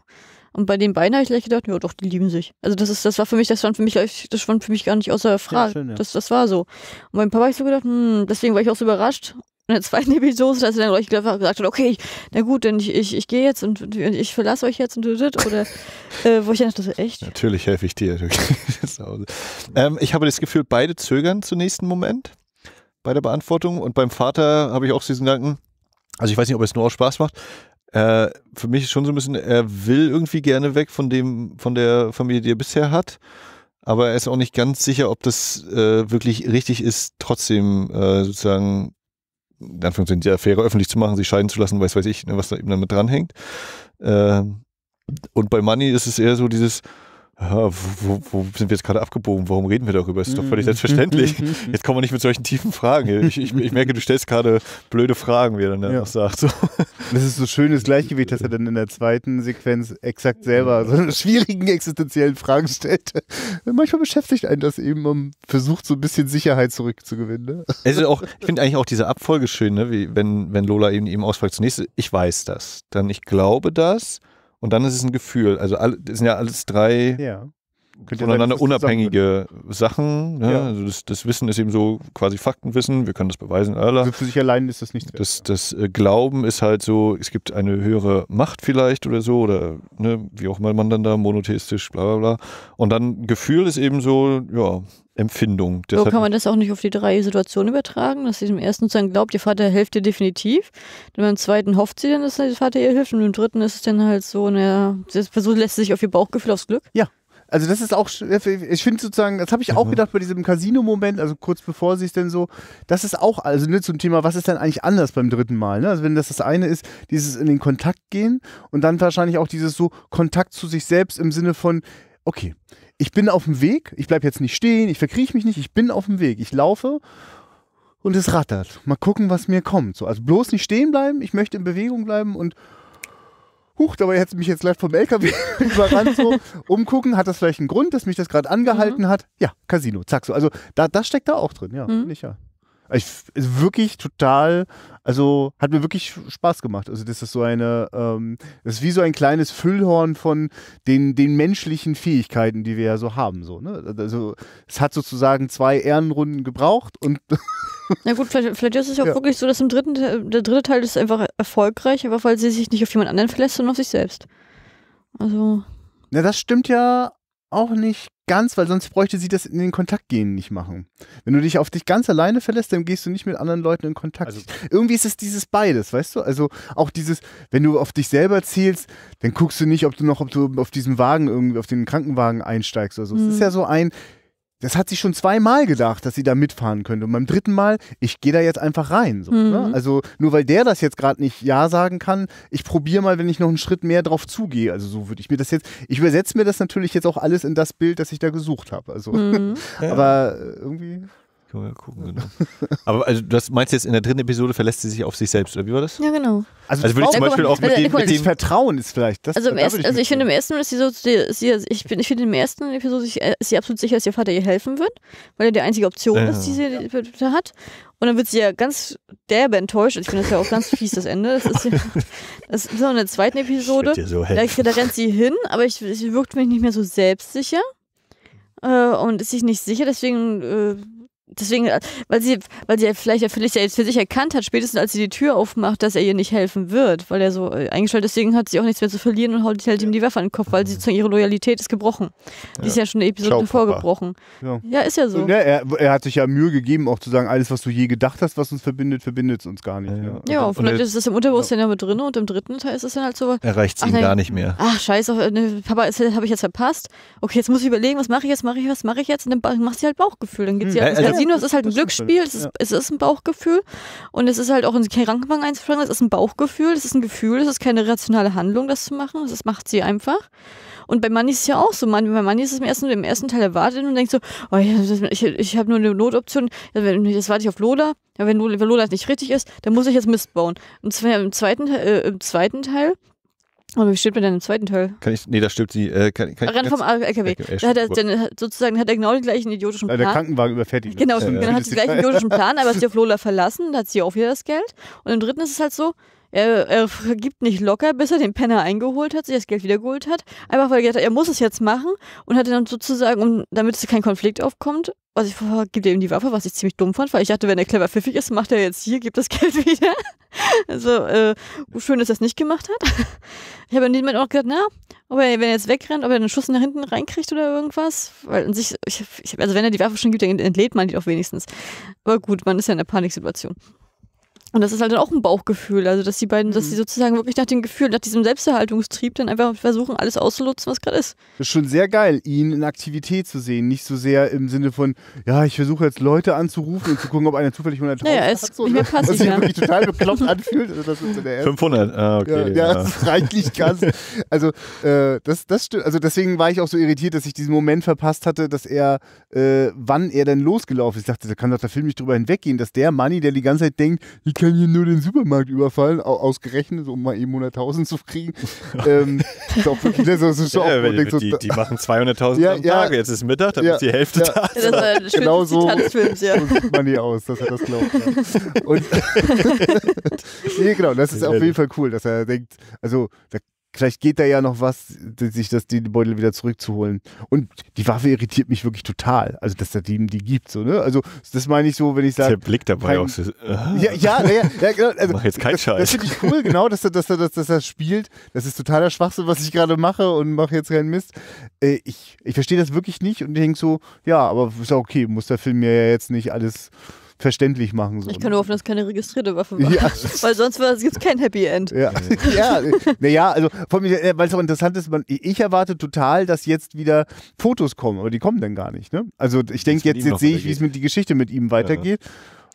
Hat das, Das hält das irgendwann an? Es, gibt schon auch in der dritten Episode ja noch, ne? Zum Beispiel die Frau mit dem Kinderwagen. Da Ja. sehen wir insgesamt ja drei Varianten so, ne? Bei der letzten gibt es Genau, bei einmal Kind klauen, Ja. einmal äh, Kirche, ich glaube, es ist in der Kirche ist die dritte Ah, nee, und die einmal Kirche der ist das Lotto gewinnen. Stimmt, der Lottogewinn ist das zweite und äh, äh, die, die, das, die, das Aufwachen-Zeitschriftchen äh, verteilen, das ist das dritte. Ja, Zeuge Jehovas. Ist das nicht Kirche, Zeuge Jehovas? ja, Einfach- wahrscheinlich, ne? Das wäre ja dann auch wieder ne, Glück. Die sich als Kirche also, verstehen, Also da auch, widersprechen. Die also versteht wäre auch, jetzt, ja. Auch da wieder einmal, einmal Glücksspiel, einmal äh, Glaube. Und ja gut, das mit dem Baby klauen oder dem Baby verlieren, kann ich jetzt nicht äh, zuordnen. Äh, Ach, ähm, na, also, Ja.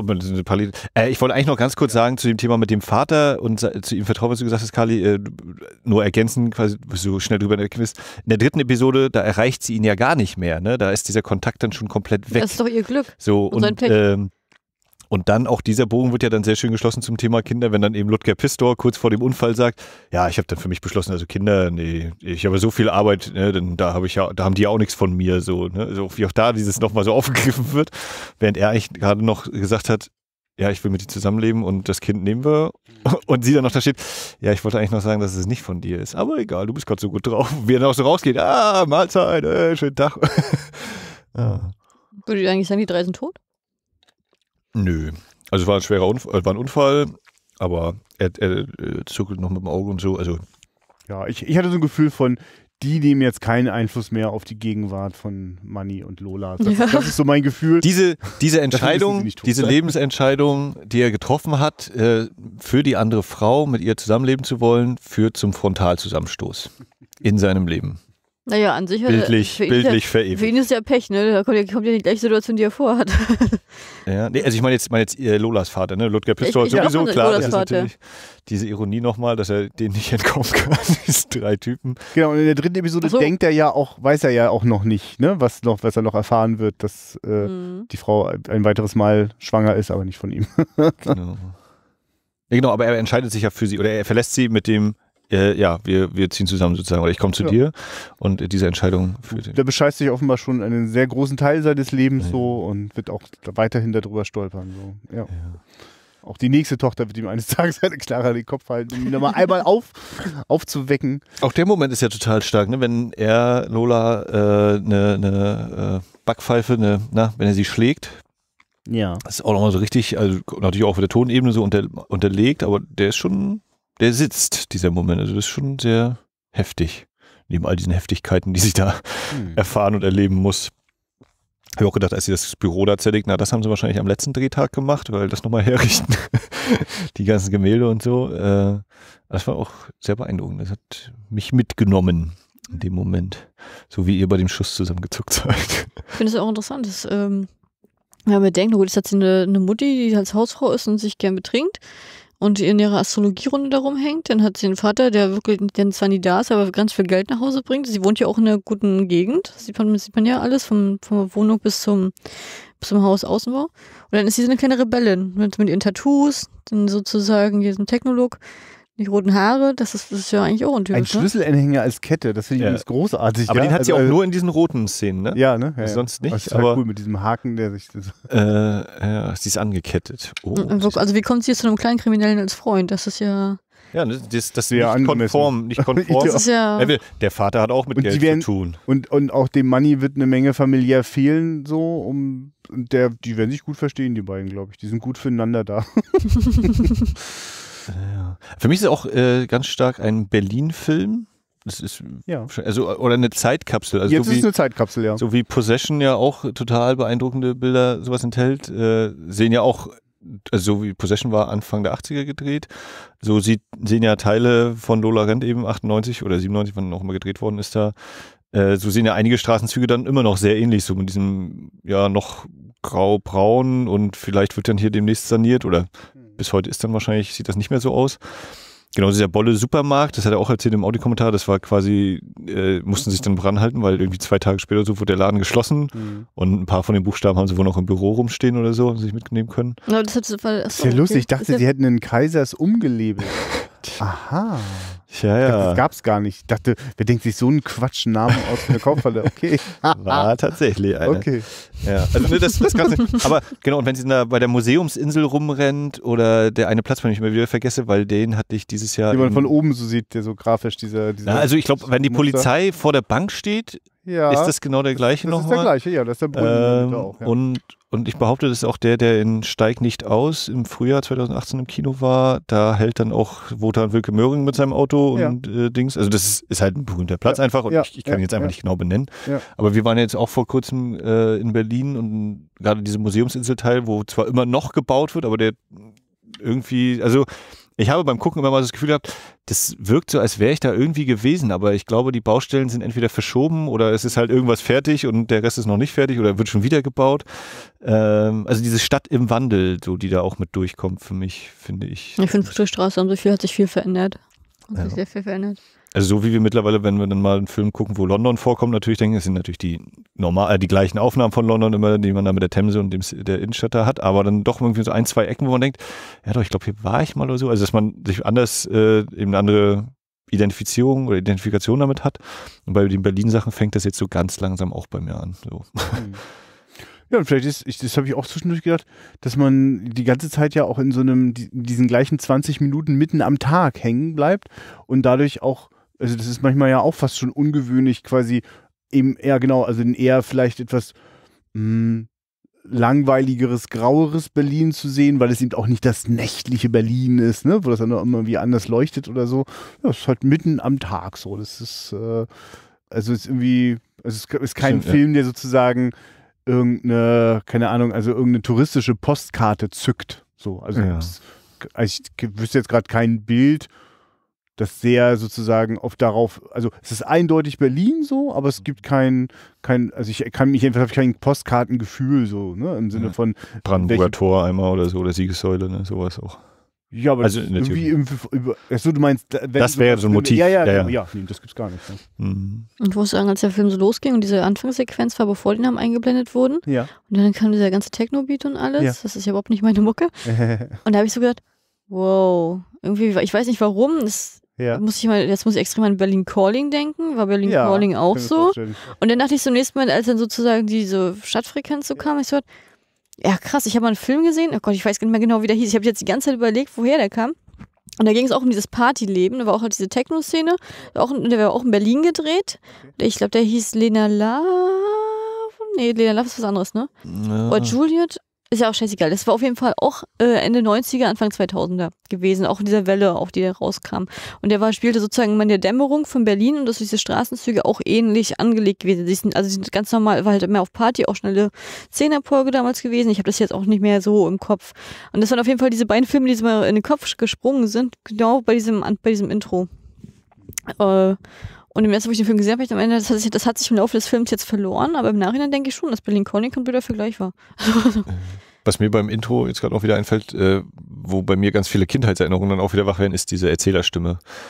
Der, der Märchenonkel, der da äh, einfach so zwei Sätze sagt. Denke, also quasi so alle, ne, so wie Heino Fair spielt noch eine kleine Rolle mit dem Ronny, also dem Gangsterboss. Und es sind so ganz viele Sachen, die eher nur so ein paar Sekunden sind gefühlt oder so ganz kleine Sachen, aber die halt eine enorme Wirkung ausüben und diesem Gesamtkomplex da irgendwie trotzdem reinpassen. Ich finde, du wirst ja ganz schön reingeschmissen und als zum Beispiel die ganzen äh, Namen eingeblendet wurden am Anfang, da habe ich gar nicht drauf geachtet, welche Konstellationen die standen, wo ihr noch, das habt ihr ja nachher gesagt, wo ich dachte, oh nee, das hat gar nicht mitgeschnitten, weil ich mal geguckt habe, ja, kenne ich den Schauspieler, wie heißt denn der? Mhm. Kenne ich den Namen des Schauspielers? Ja. Kenne ich den Namen des Schauspielers? Ja. Das war das Einzige und dann war das ja auch schon wieder weg. Das ging ja richtig schnell, schnell, schnell. Und am Anfang habe ich nur gedacht, oh Gott, ich habe dieses Tempo von diesem Film nicht. Das, das ist ja, boah. das war ja, das, da war ich ganz froh, als in die Dialogszene im Büro kam, dass erstmal ein bisschen Ruhe reinkommt, weil das war schon echt, wo ich dachte, okay. Das, also ich fand für mich überfordernd. Ja. Ich meine, das war wahrscheinlich etwas, was mir sehr geholfen hat, äh, noch in, am Anfang in einem deutschen Film, wo das vielleicht noch ein Wagnis für mich denn war, da reinzugehen, war es, glaube ich, sehr, äh, war das eher beruhigend für mich, dass es ein schnell erzählter Film ist, so, ne? Weil ich Mhm. vielleicht gedacht habe, das machen deutsche Filme nicht oder so, also die, die ich bis dahin geguckt hatte. Das ist ja eh auch mal. Ja, ihr seid beide auch sehr von dem Film begeistert, ne? Also ich ich habe total, also dieses Tempo und alles. Mir fällt ja auch tatsächlich in der Hinsicht kein richtiger Vergleich ein. Ich meine, du hast jetzt irgendwas, den, den Film, dessen Titel dir nicht so ganz einfällt, genannt, aber ja, sowas, ja, vielleicht was ist er jetzt auch so dieses- Ich, ich, was, ich, das weiß ich nicht, müsste ich, müsste ich nachgucken. was so diesen, diesen Tempo, diesen Druck, äh, dieses Gefühl eben, was der rüberbringt, vermitt, äh, angeht. Ähm, also jetzt nicht mal auf rein deutsche Filme oder so bezogen, sondern allgemein, da fällt mir jetzt so aus dem Stand kaum ein Film ein, wo, wo wirklich so den Leuten der Arsch brennt, dass die da keine Pause machen können. Also vielleicht sowas wie Crank, aber selbst da ist es nochmal ein bisschen anders. Ne? Und ich, also ich habe mich heute sehr gefreut, dass sehr gut äh, der, der philosophische Unterbau funktioniert hat. Also das sind, das ist, da gibt es schon einen Haufen Momente, wo ich so denke, das jetzt, das geht jetzt eigentlich so nicht oder so. Also wenn ich vielleicht auch gerade das Spiel gar nicht so überzeugend finde, so, ne? Also es gibt schon Momente, aber äh, ich merke so, in der Gesamtsumme ist das ganz schön, ganz schön rund. Also, es, also ich finde das einen ziemlich äh, gelungenen Film, der aus lauter Zutaten besteht, bei denen ich jetzt nicht automatisch sage, ey, ist cool so. Also gibt auch mal einen Moment, wo ich denke, ja, jetzt haben wir, glaube ich, alle Varianten durch, in denen wir Laufen zeigen können. Und das ist meistens der Moment, wo dann nochmal inhaltlich eine neue Ebene eingezogen wird. Das äh, zum Beispiel eben in der dritten Episode, es anfängt so ein äh, also ja, ich, also sozusagen, das, das Laufen ist eigentlich von Anfang an ja quasi auch nur ein Bild für sozusagen so einen inneren Prozess. So. Und wenn das dann plötzlich wieder auch greifbar und fühlbar wird, ne, also dann ist das ganz schön gut. Und dann finde ich sogar auch viel, ähm, also tatsächlich viel gelungener als einige von seinen späteren Filmen von Tom Tykwer. Was hat er denn noch gemacht? Ich Ja. kenne kenn nur Parfüm, Genau, also glaube ich. Ja, lass uns mal weiter zurückspulen, weil direkt danach äh, kam dann sowas wie ähm, die, äh, warte mal, heißt, wie heißt das denn, die, der, ähm, ha, der Sonst- Krieger und die Kaiserin. Ja. Ach Gott, okay, das ist auch mit Frage Tante, ne? Ja, ja, Benno Fürmann, ne? ja. genau. Hm. Und der zum Beispiel äh, wird dann schon fast ein bisschen spleenig, äh, so, ne, der da sozusagen auch, also auch viel sozusagen äh, über philosophische Bilder und richtig, die, die, Vollgranate ist dann Heaven mit äh, Kate Blanchett. Ähm, den habt ihr wahrscheinlich gar nicht so vor Augen. Äh, und Giovanni Ribisi. Also ich hab, ähm, glaub ich, kenn- wirklich hab nur Heaven Lola tatsächlich von gesehen, gesehen. aber ich kenne äh, äh, Krieger und Kaiserin wollte ich nicht sehen. Ja. Aber Und- Heaven habe ich gesehen, den fand ich schön. Genau, also ich finde die auch ziemlich gut so, ne? Aber ich merke so, die, äh, die, also die sind dann schon eher nochmal, also die empfinde ich dann manchmal schon eher als eine Zumutung, äh, also wo ich so denke, also ich finde es immer, ist, für mich ist das immer ein schmaler Grad. Also ich, hab, ich mag total gerne sinnlich und auch philosophisch so äh, äh, quasi so mitschwingen in einem Film, aber wenn mir das sehr so vor die Fresse gehauen wird, dann gibt es immer was, das, das mir dann zu doll. Ne? Mhm. Und ich finde, das, das mag ich halt an Lola Rent. Also das ist permanent da und es ist, finde ich, ziemlich rund eingeflochten. Aber es, also ich kann, ich kann, also ich muss sozusagen nicht irgendwelche Symbole entschlüsseln. Also so wie wir hatten es ja auch manchmal schon, also äh, äh, ich gebe manchmal quasi, wenn, wenn ich das Gefühl habe, da ist jetzt ein Symbol oder ein Gleichnis und, und, und das, das muss ich, also das ist jetzt in erster Linie das Vordergründige so, dann macht mir das meistens keine Freude so, weil ich fühle mich dann wie in einem Kunstseminar oder so, weißt du? Mhm, Und was du meinst. also, und insofern, also da, da mag ich Lola Rent deswegen, glaube ich, am ehesten so von den früheren Tykwer-Filmen. Und ja, ich, ich kenne tatsächlich ein paar von den, von den neueren nicht, wie äh, drei zum Beispiel, da wäre ich sehr neugierig, ob ich das mag so. Ähm, ich finde ja nicht ganz uninteressant, was der da mit den Wa- Wa- Wachowski-Geschwistern macht. Ähm, Cloud Atlas? äh, ja, genau. Und dann sozusagen die Serie, die sehr nah dran Sense8 ist. Sense ist das, 8, glaub ich, genau. ne? Mhm. Ähm, Aber habe ich auch alles nicht gesehen. Ja, ja, genau. ich Aber ich habe nicht mal gehört. und ich manchmal- das gar nicht. Doch Ja. Cloud Atlas? Ach, Cloud Atlas. Ich, hab, Ja. ich, ich, ich weiß, was Ja, ich verstanden Sen habe. Sense 8 haben wir dann auch noch gesagt. Also, den, den kann ich nicht. Achso. Parfüm. Und bei Cloud, ich meine, als ich, du hast Cloud Atlas gesagt, Ja. ich habe verstanden, Klau etwas. Ich denke, Klau- Klau etwas kenne ich nicht. Ja, Das Der ist neue auf deutsche Film, auf der ja. ARD. nee, Cloud Atlas hat mich auch nicht interessiert, muss ich sagen. Das war mir auch von dem, nee, Ja. von- Genau. das ist nicht mein Thema. genau.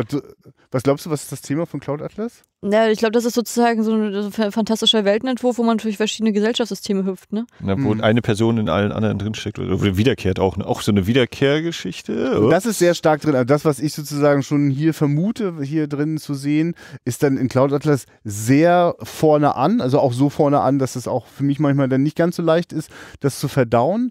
Ähm, aber ich merke, da ist also ich, ich kann da, also das passt dann gut so, wie ich manchmal auf Welt gucke, so, da passt das ganz gut zusammen. Und so ist es auch bei Sense8. Ich habe schon bei Le Leuten diese äh, Momente von dieser Serie irgendwie gezeigt und die sind da überhaupt nicht drauf eingegangen, fanden das eher ganz schön kitschig und überzogen, so, ne? Also, Hm. naja. Ja, ja. Ähm, also ich muss sagen, während des Sichtens hab ich, hatte ich so ein gewisses Déjà-vu-Gefühl. Ich konnte mich an die Szenen nicht so erinnern, Ja. aber ich konnte mich an meine Eindrücke von damals erinnern. Und ich muss sagen, im Gegensatz zu euch bin ich von dem Film nicht so angetan. Ja. Ich fand, äh, ich fand es schön, dass er 18 Minuten hat, weil ich kann es nicht oft genug sagen. Ich hasse es, wenn Leute sich nicht unter 20 Minuten begeben können. Ich liebe es, wenn Filme 90 Minuten lang haben. Ähm, es kam mir tatsächlich deutlich länger vor. Mhm. Ähm, ich finde dieses Was wäre wenn Thematik finde ich immer sehr schön im Film. Das macht Spaß. Ich fand die Differenzen in den Einzelsituationen, bis das Finale kam, nicht so gravierend, dass es jetzt für mich spannend gewesen wäre. Deswegen hatte ich das Gefühl gehabt, dass auch sehr viele Doppelungen immer kamen und ich fand dieses äh, immer zu rennen und immer wieder, das fand ich sehr ermüdend. Das habe ich damals auch schon gedacht. Ich weiß nicht, ob das der Eindruck ist, dass der sich von mir manifestiert hat von damals oder ob ich jetzt ein Banause bin. Aber ähm, er hat mich nicht gepackt. Und die Mhm. Musik, also und die Musik, also ich mag ja. Nee. Das ist sehr traurig alles. Nee, also das ist halt, nee, also ich muss ehrlich sagen, Also es okay, gibt aber heute Filme, die mir deutlich besser gefallen haben. Ich muss sagen, ich, ich mochte Franka Potente nie leiden. Ich fand sie hat sehr schön gespielt. Ich habe mich auch gefragt, wie war das für mich eigentlich begründet, dass ich sie nie sehen mochte, weil ich ja mit ihr nie wirklich einen Film gesehen habe, weil ich das auch gemieden habe. Ich fand sie auch sehr sympathisch im Spiel.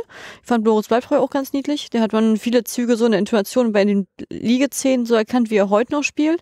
Das, das fand ich auch in der Hinsicht lustig, weil ja auch viele, diese, diese Totale auf sein Gesicht auch aufgenommen war. Dadurch, dass man ja vor ein paar Wochen erst abgeschnitten so mit ihm gesehen hat, und das war ja genau diese gleiche Ebene, wie er sich auch entwickelt hat, extrem. Das fand ich jetzt auch extrem spannend. Ähm, aber ich muss sagen, als ich dann so, ich, ich habe mich erwischt bei dem, ich, dass ich, also ich habe für mich gedacht, der, für mich das Highlight war der Papa. Mhm. Ich finde, der, der hat mit Abstand das beste Spiel gehabt. Ich fand auch den Penner ganz niedlich in der Runde und habe am Ende so gedacht, ja, der ist jetzt nicht so schlimm, wie du in Erinnerung hattest. Warum ich eine schlechte Erinnerung habe, kann ich dir mal gar nicht mehr, mehr begründen. Aber einmal sehen reicht. Also ich werde ihn jetzt wahrscheinlich die nächsten paar Jahre nicht nochmal sehen. Also das war halt so ein Ding, wo ich dachte so, Ah, ja, ich kann verstehen, dass das so ein It-Film war und das war ja sozusagen auch so fürs deutsche große Kino, das war ja damals auch Trend und das war auch cool, den zu sehen und der, und der Videoclip damals hier mit Thomas D. war ja auch der Hammer.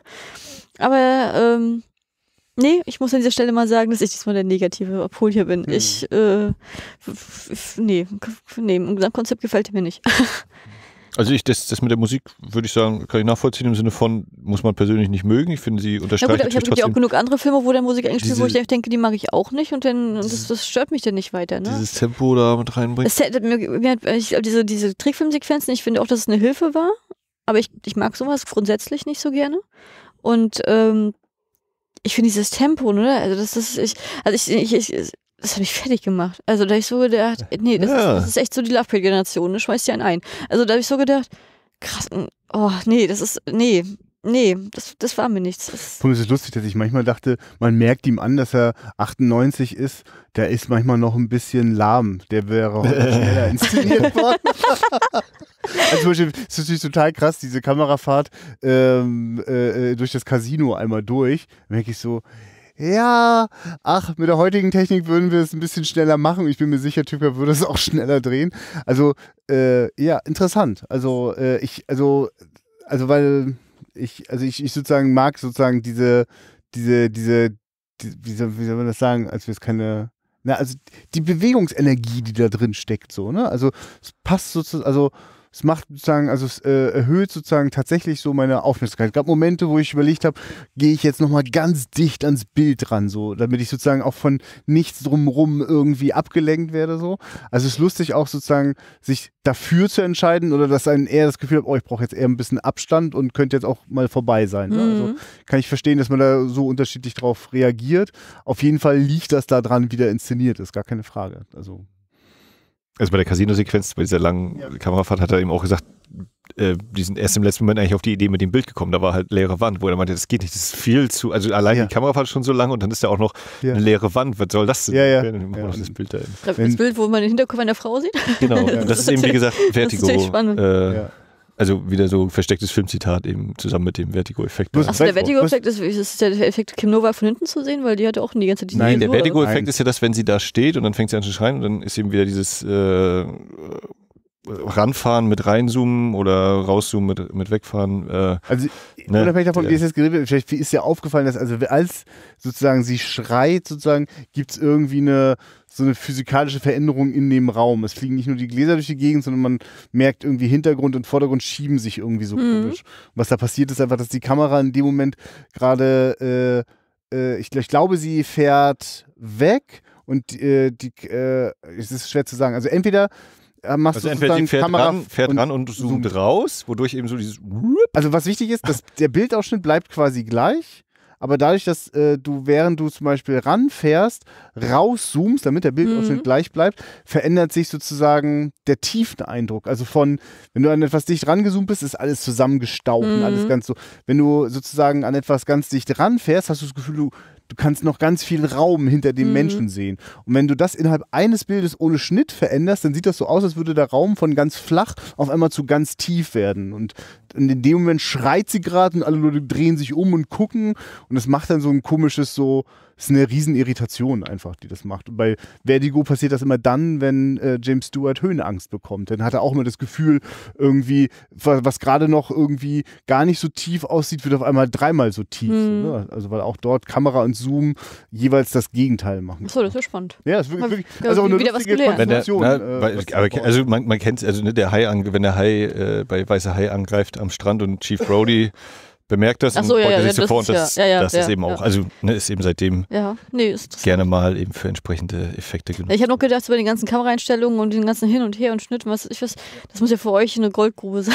Das war, das war noch so mein Gedanke, wer das gucken. Denk so, ah, Ja, und man merkt auch, ein, ein, ein, ein Filmfan, ein, ein, ein Cineast, wie auch immer man das nennen will, sozusagen, also jemand mit viel Seherfahrung im Kino inszeniert das gerade. Das kommt ja noch dazu und dass das sozusagen ja ein sehr früher Film von Tom Tykwer, nicht der erste, aber ein sehr früher ist. Ähm, und äh, von denen gibt es Interviews, dass der, also der hat äh, lange Zeit äh, sein Filmstudium überbrückt, war übrigens bei Rosa von Braunheim in der Klasse. Und äh, der hat äh, äh, als Filmvorführer nebenbei gearbeitet. Und er war in einem Kino, wo es auch immer äh, sozusagen im Hause eine Kopie von Blade Runner lagerte. Und er sagte, so mancher Feierabend endete mit einer Privatvorführung von Blade Runner. Ähm, also das merkt man dem natürlich auch an. Also er hat auf jeden Fall auch Lust auf, also oder ich weiß gar nicht, ob er absichtlich Zitate macht. Also wenn er das selber so sagt, dann ist das schon äh, bestimmt in diesen Splitscreen-Momenten, denkt da an Brian De Palma und so merkt man einfach in den anderen Bildern. Das ist auch eine Lust, das, was die großen Meister alle schon gemacht haben oder was einem selber gefallen hat im Kino, will ich jetzt auch mal machen. So, Mhm. ne? Also. Und deswegen freut mich das, glaube ich, umso mehr, dass darin eine sehr originelle Geschichte ist im Vergleich zu Knocking on Heaven's Door, Gangster, bla oder so. Weißt du, wie ich meine? Es ist Hm. sozusagen, es ist, also das ist jetzt, also Lola Rent hatte jetzt kein Vorbild im Sinne von, und das hat jetzt Danny Boyle in Großbritannien oder Tarantino auch schon in Amerika gemacht, sondern nee, das haben jetzt gerade Tom Tykwer in Deutschland gemacht. So. hm. Ich vermute, dass das auch eine Menge mit dem internationalen Erfolg von dem Film zu tun hat. Und internationaler Erfolg heißt ja nicht, dass der da jetzt Kassenrekorde gebrochen hat, aber er war interessant genug, dass er äh, auch im Ausland ins Kino gekommen ist. Und äh, das ist schon, das ist schon bemerkenswert. Hat, glaube ich, sicherlich auch der Karriere von Tom Tykwer ganz gut geholfen. Er hat in Sundance den Publikumspreis gewonnen. Ah ja, das ist ja spannend, ja. Ein Independent Filmfest, genau. Ja, ähm, dann haben wir es. Auserzählt. So, Lola Rent. Abgelaufen. Abgelaufen, ja. ja. Ähm, wollen wir mal nachdenken, wie es weitergeht? Nein. Nein, wollen wir nicht. äh, ja, genau. Wie geht es denn so weiter? Äh, Ja, oder? können wir so drin lassen. Die Frage, Ja. kommt die Folge denn morgen raus, sozusagen? Oder ähm, Wie, wie ist denn das rein rechnerisch? Also wenn wir der jetzt, letzte Sonntag im Monat, ja, ich. also der nächste Sonntag ist schon der erste vom Dezember, ja? Mhm. Dann mühe ich mich sehr, dass das äh, auch natürlich am letzten Sonntag des Monats, wie unser Versprechen ja auch lautet, Ja. auf diese Folge raus. Ähm, genau, so im Dezember ist einmal noch Schatzkiste, das ist direkt vor Weihnachten, 22. 23. Dezember 2018. Hallo Zukunft, Vergangenheit, wer auch immer das hier irgendwann hört. Äh, Nightmare Before Christmas kommt da noch äh, hier im Lichtspital wundervoll, Frieda 23 in Rostock. Wer also auf der Ecke ist, vorbeikommen möchte, seinen Weihnachtsurlaub hier verbringt, ist herzlich eingeladen. In der Und es gibt doch eine Originalvorführung, ja? Genau, am 23.12.20 Uhr, deswegen. Das ist ja super. Na, das äh, wird terminlich noch spannend. Genau. Das beste, beste Termin überhaupt. Äh, entweder sind alle schon weg oder alle schon da und Eben, keiner ja. gekommen. Naja, das wäre dieses. Und dann ja. gab es aber noch einen anderen Vorschlag. Ähm, ja. ähm, Jetzt, jetzt, jetzt, obwohl ich, ich wusste, wo es hingeht. Ja. Ich bin vorbereitet. Na, wer, ich habe mir die ganze Zeit so eine schöne Überleitung überlegt, wo ich dachte, so. so. jetzt passt die überhaupt nicht. Ja, und, und Max Überleitung ist, erzähl doch mal, Kari. Na, du, hast, du hast auf jeden Fall erzählt, dass Weihnachten geht bei dir auch mit etwas Regelmäßigem einher. Ja, und zwar ähm, habe ich irgendwie, also ich, ich habe letztens die Theorien in den Raum gestellt und jetzt kommt, ich bringe meine Überleitung trotzdem, jetzt passt ja, bitte. Mehr. Jetzt haben wir die ganze Zeit von Franka Potente geredet und die ist ja jahrelang mit Elijah Wood ausgegangen, deswegen spring, so? ja, ja, deswegen springe ich jetzt mal direkt in die Mitte zu meinen Weihnachten Tradition, weil ich hatte letztens. Bin gespannt, was das jetzt mit Patente und Wood zu tun hat. Das, ähm, das war's schon. ich habe ja seit geraumer Zeit, also ich habe ich hab letztens äh, die Diskussion in den Raum gestellt bei uns, äh, dass in unserer Generation äh, die äh, End-80er-Kinder sozusagen, die großen Kino-Events waren wirklich Herr der Ringe und Harry Potter. Und die waren halt auch einzigartig in ihrer Art. Damit meine ich jetzt auch, damit keine Missverständnisse aufkommen, Reihen. und ähm, habe da auch sowohl Zustimmung als auch natürlich Ablehnung äh, geerntet. Und bei mir ist es sozusagen, seitdem ich 15 bin, die Weihnachtstradition, dass ich eigentlich jedes Jahr Weihnachten abwechselnd Herr der Ringe und oder Harry Potter gucke. Den letzten Jahren mehr Harry Potter als Herr der Ringe, weil ich das für mich sozusagen durch dieses Gefühl, was ich damals in den Kinos hatte, als ich das äh, das lief, komplett mit Weihnachten verbinde. Diese Vorfreude, diese Spannung, jetzt unabhängig von Weihnachten selbst, auch zu dieser Zeit einfach, dass man sich einfach diese Reihen einlassen konnte und dieses unglaublich nervös sein, äh, einfach nur voller Vorfreude ins Kino gehen, äh, diese Sehnsucht nach dem Film, dass es einfach weitergeht. Ich finde, ähm, dieses Gefühl habe ich jedes Mal, wenn ich diese Filme sichte und bin immer wieder ähm, glücklich, wenn ich das wieder einfangen kann. Ich, das, deswegen betrübt mich das manchmal, wenn ich das im heutigen Kino nicht mehr so häufig habe. Mhm. Ähm, und da dieses Jahr bei mir wieder Harry Potter ansteht, würde ich jetzt gerne den originellen Vorschlag machen, dass wir Harry Potter und der Stein der Weisen zur Eröffnung der Weihnachtszeit gemeinsam im Podcast hören würden. Das wäre mein Ansinn. Das wäre sozusagen. ja, das Ihr hört also, jetzt den Film. Das, also, das wäre persönlich mein Ansinn, weil ich äh, persönlich äh, Harry Potter als mein Lieblingsfranchise sehe. Also das ist sozusagen das, wo ich komplett drin aufgehe. Und da würde ich natürlich auch gerne mal drüber erzählen. Ja, also es ist ja noch ein Film, da habe ich noch im Film äh, im Kino vorgeführt und kann mich noch sehr erinnern, äh, was für Aufregungen es damals gab äh, zu der oder war das der zweite Teil? Ich glaube, es war schon der erste Teil, ne? Der, bei dem es auch Ärger gab wegen der Altersfreigabe. das war, glaube ich, beim zweiten. Das war Ach so. Ein paar Sekunden ist, ist, ist der zweite das mit dem, mit dem, mit dem äh, Drachen? Ja, mit dem Basilisken, Ah, okay. Ja. Alles mhm. klar, gut, ja. Dann, der erste ist noch recht jung. Dann ist es da nicht, aber daran, also da, so lange ist das denn schon, dann habe ich ja noch richtig, weil auch das habe ich noch erlebt beim Filmvorführen. Da musste man nämlich mal aufpassen, dass man die richtige äh, Tonspur-CD, es wurde damals von CD-ROM der Ton zugespielt beim mhm. zweiten Teil. Und wenn man da die falsche CD drin hatte, dann war da mehr Ton als Bild von der geschnittenen Fassung. Ah ja, okay, das ist also der erste Teil. Ähm, das ist, wann ist der rausgekommen? 97 oder was? Ich glaube, 2001. Der ist 2001 gekommen. Ach so, ah ja, 2001. Mhm.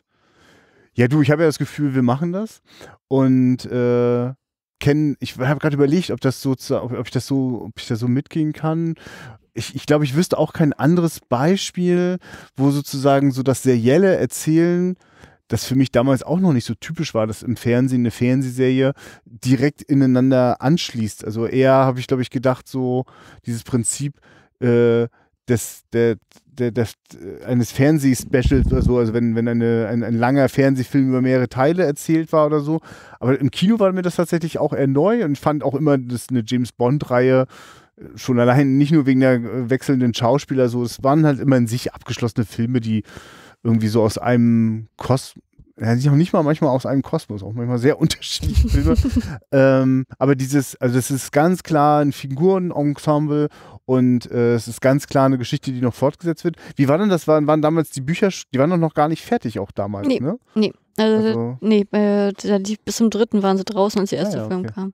Und ich weiß, dass ich auch unglaublich viel schon während dieser Bücher mitbekommen habe. Also das war ein Riesending in den 90ern, muss ja auch so Ende 90er gewesen sein, äh, diese, als diese Bücher gelesen worden sind. Das ging auch, also es war dann irgendwann auch, also weiß ich hat, hat, ging das, also bei mir war das so quasi, für mich war das Phänomen mit jungen, erwachsenen Frauen in der Erzieherausbildung, da gab es wenige, die nicht gerade mit Harry Potter lesen beschäftigt waren. Und ich habe das damals gar nicht verstanden, was los ist. So, also, also ich wusste gar nicht, warum mich das jetzt interessieren soll.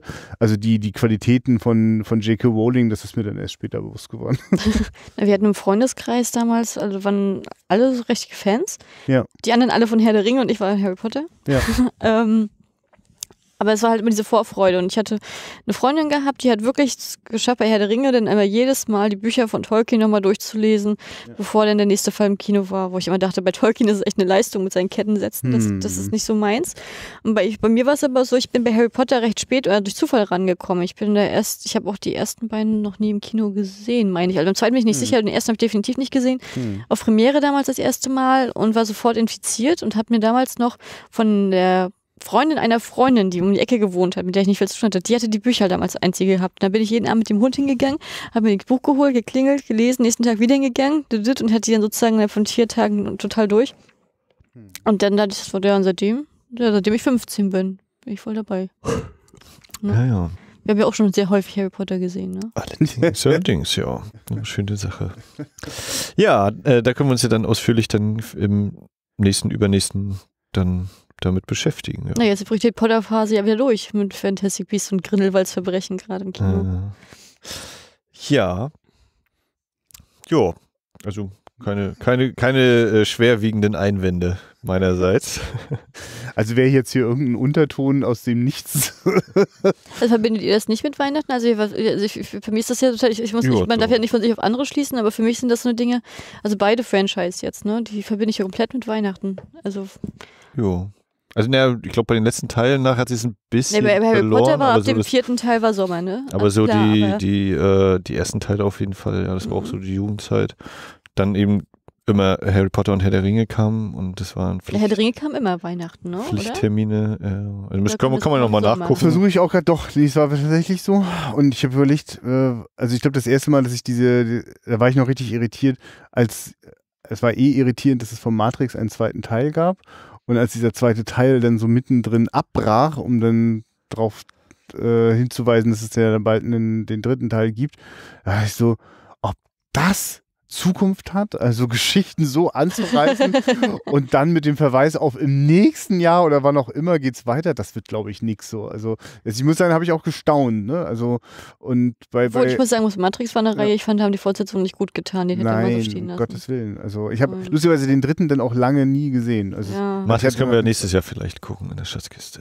Äh, was? also ich finde den ersten Matrix schon sehr bemerkenswert. Ja, erst finde ich auch Also- geil, aber danach, mm. Ja. Also der, der sah gar nicht aus wie nach einer, der braucht noch eine Fortsetzung. Also war, glaube ich, auch gar nicht drin. Aber genau, bei Harry Potter, äh, ja, weiß ich auch, weiß ich zum Beispiel gar nicht mehr, wie der erste funktioniert oder wie der in sich geschlossen ist. Ich weiß nur, als wir ihn nochmal wieder gesehen haben, dass ich sehr gestaunt habe über die Gesichter, die mir ja schon so lange als erwachsene Gesichter bekannt waren. Ne? Also immer Watson und so ist schon beeindruckend, ja. Wie, wie alt waren die damals? Also äh, Jung. Sowas wie zwölf oder so, Elf. ne? Elf, zwölf. also waren sie schon so in dem Filmalter auch. Ja. Hm. Alles klar. Ja, dann äh, gucken wir mal, mit welcher, mit welcher Perspektive wir auf äh, Harry Potter gucken. Ähm, und äh, ja, ich hoffe, ich hoffe sehr, Nightmare for Christmas. Ich, das wird nochmal wirklich spannend für mich Mhm. terminlich. Weil, ähm, ja, Naja, vor Weihnachten. das kennt ihr ja alle, wie das so ist mit Weihnachten. Irgendwas dem ist ja immer. durch die Gegend fahren und alle Familienteile beglücken. Genau. Okay, dann. Ja, das war Lola Rent, ein Film, von dem es keinerlei Fortsetzung oder Serienvariante oder sonst was gibt. Auch durchaus mal bemerkenswert, finde ich. Wer weiß, wann die Sachen kommen. Nee, Jo. das geht nicht. Das, das, ich glaube, auf so eine Idee wird auch keiner kommen. Das ist kein. Da sagt niemals niemand, Oh weil es niemand ja, mag. ja, ihr habt recht. Ihr habt Top, Gun 2. Ja. Was? Setzt jetzt niemand diesen Floh ins Ja. Ja, ja äh, in diesem Sinne, äh, guckt Filme, habt Spaß dabei. Auf Wiederhören. Adieu.